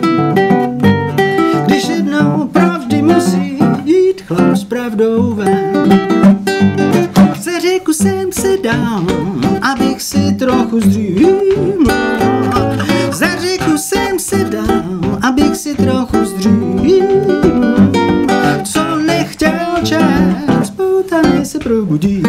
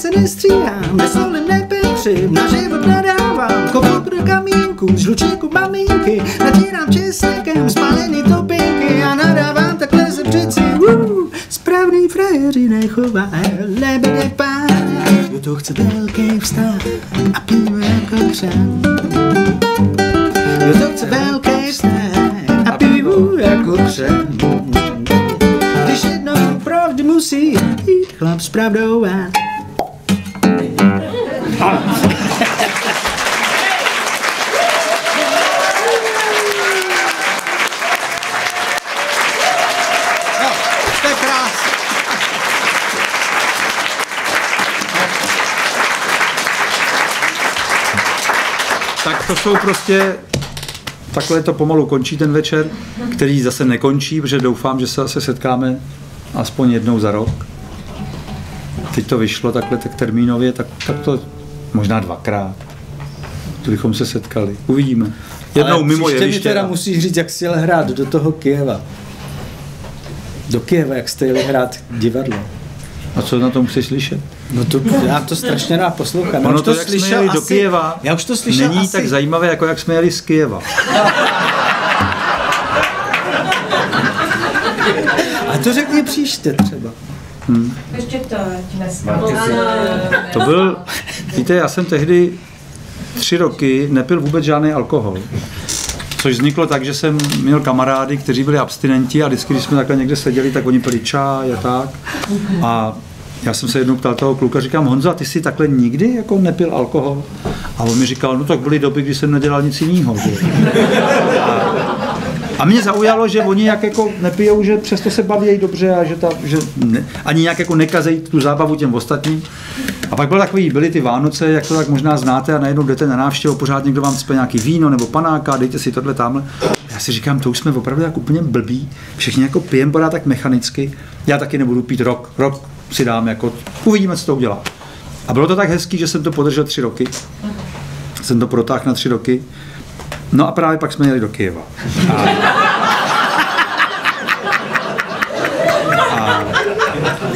Zájezd, to jsme jeli s Martinem Zbroškem a s Viktorem Zborníkem jako divadlo Vizita. Hráli jsme dvě představení pro ukrajinské občany. První představení se jmenovalo Náhodné opilení a druhé Únos harfeníka. A to bylo oboje improvizace. A teďka my jsme se, to uspořádal jistý Jaromír Janus, který tehdy pracoval jako nějaký šéf centra eh, kultury tam v tom Kijevě. A to byl takový velmi svérázný chlapík, který nás někde viděl hrát a prostě, oh, já pozvu vás do Kyjeva, pojedete do Kyjeva. My jsme říkali, no tak do Kyjeva, tam jsme nikdy nebyli, pojedeme do Kyjeva.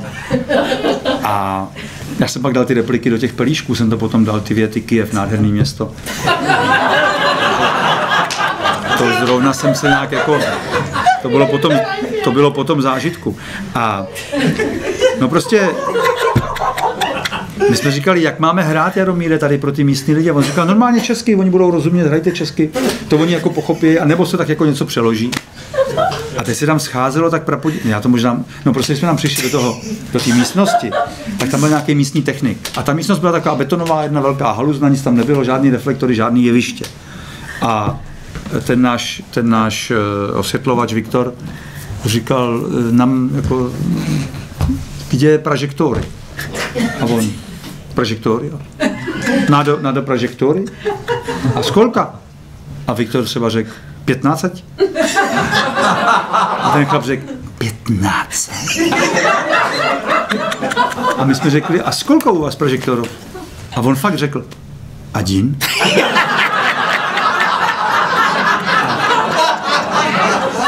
A my říkáme, Adin, to... a on, dva.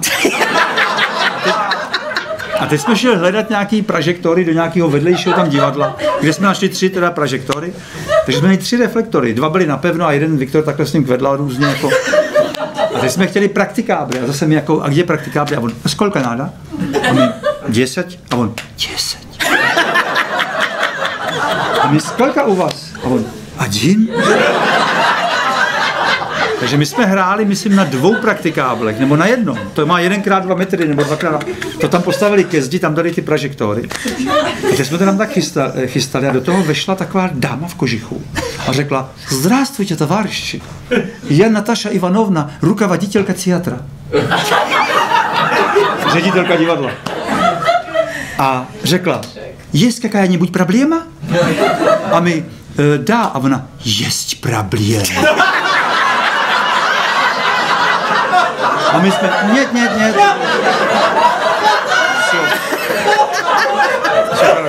No, a pak, pak on vymyslel, že jdeme navštívit našeho velvyslance, ten Janus, eh, že půjdeme navštívit velvyslance. A velvyslanec byl takový zvláštní, takový muž, který tam tak seděl, eh, takovou ofinu, takový vlasy zvláštní. A po celou návštěvu nehnul brvou. Seděl, a my furt jako nějaký vtipy a nic prostě, úplně kamenná tvář. A zajímavý bylo, že po té návštěvě on řekl, že musí jít na to představení, že to chce vidět. Takže byl na tom druhém představení a s manželkou a pozval nás pak do hotelu Šeděvr. Šeděvr. A v Kijevě v hotelu Šeděvr skončilo moje období abstinence.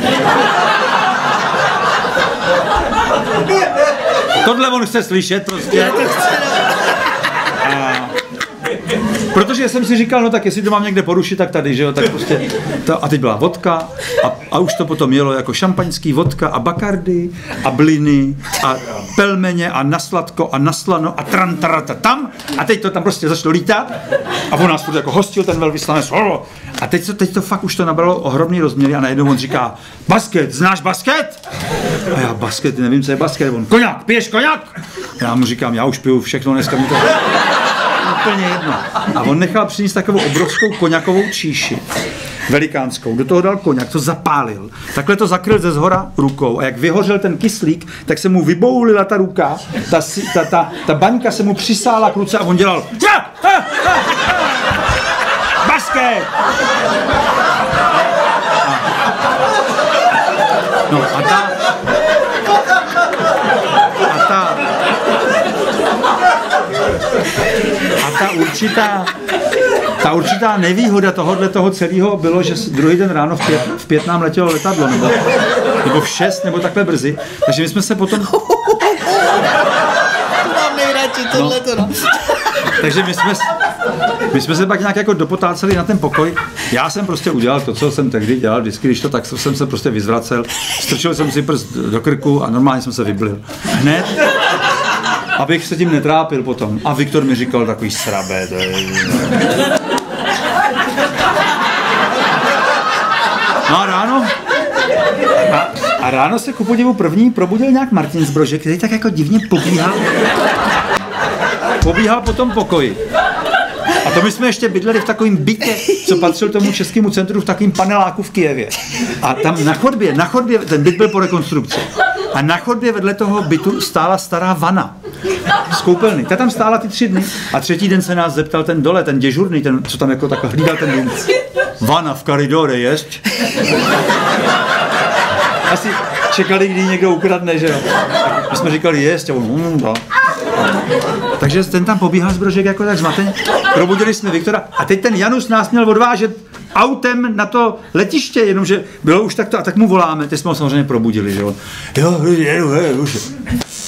A teď přijel a opravdu jsme měli krátký čas na to, abychom najeli teda na to letiště včas. A on, se, on byl takový ještě rozespalý, že opravdu najížděl do protisměru na dálnici, ale to jsme mu rozmluvili, takže jsme to tam nějak jako a teď jsme se jako řítili k tomu letišti a ten Viktor, který byl takový jako, že to, tak ten najednou tam tak... A teď začal jako blednout a říkal, hele, já potřebuju zastavit. A ten Janus říkal, ale rychle, takže zastavil, on to otevřel. Teď se rychle vyblil, zabouch to. A jeli jsme. No jo, ale za pět minut Viktor, jo, ještě zase. A ten Janus řekl, už nemůžeme stavět, takže on zvracel z okna za jízdy. Stažený okýnko. To je návrat českých umělců do vlasti. A teď stihli jsme to letadlo, Viktor usnul, ten tam ten vůbec jako jídlo mm, nechtěl, ale to, já jsem si něco dal, já jsem měl jako vyčištěno. A když jsme vystoupili z toho letadla, tak nás čekali manželky na letišti a my jsme museli opravdu působit nějak strašně, protože my jsme se, jak, že, z, ty dveře, my jsme vyšli z těch dveří a ty manželky byly od nás pět metrů, šest, ještě možná víc. A první jejich věta byla, vy strašně smrdíte. A, a my jsme tak jako zkroušeně. Já tříletá abstinence, že jo, tak jsem... Teď jsem, teď jsme nám tak jako přicházeli a ta Kateřina Viktorová tomu Viktorovi nebo mu říkala, upekla jsem ti králíka. A Viktor udělal takový jenom, no. no tak, tak to je celý, to je celá historka prostě. Tam, vy- vynechal jsem,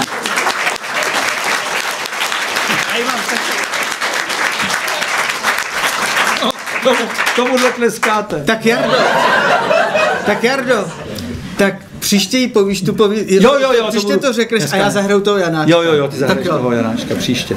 Tak jo. Tak děkujeme, že jste tady s náma strávili tuto sobotu.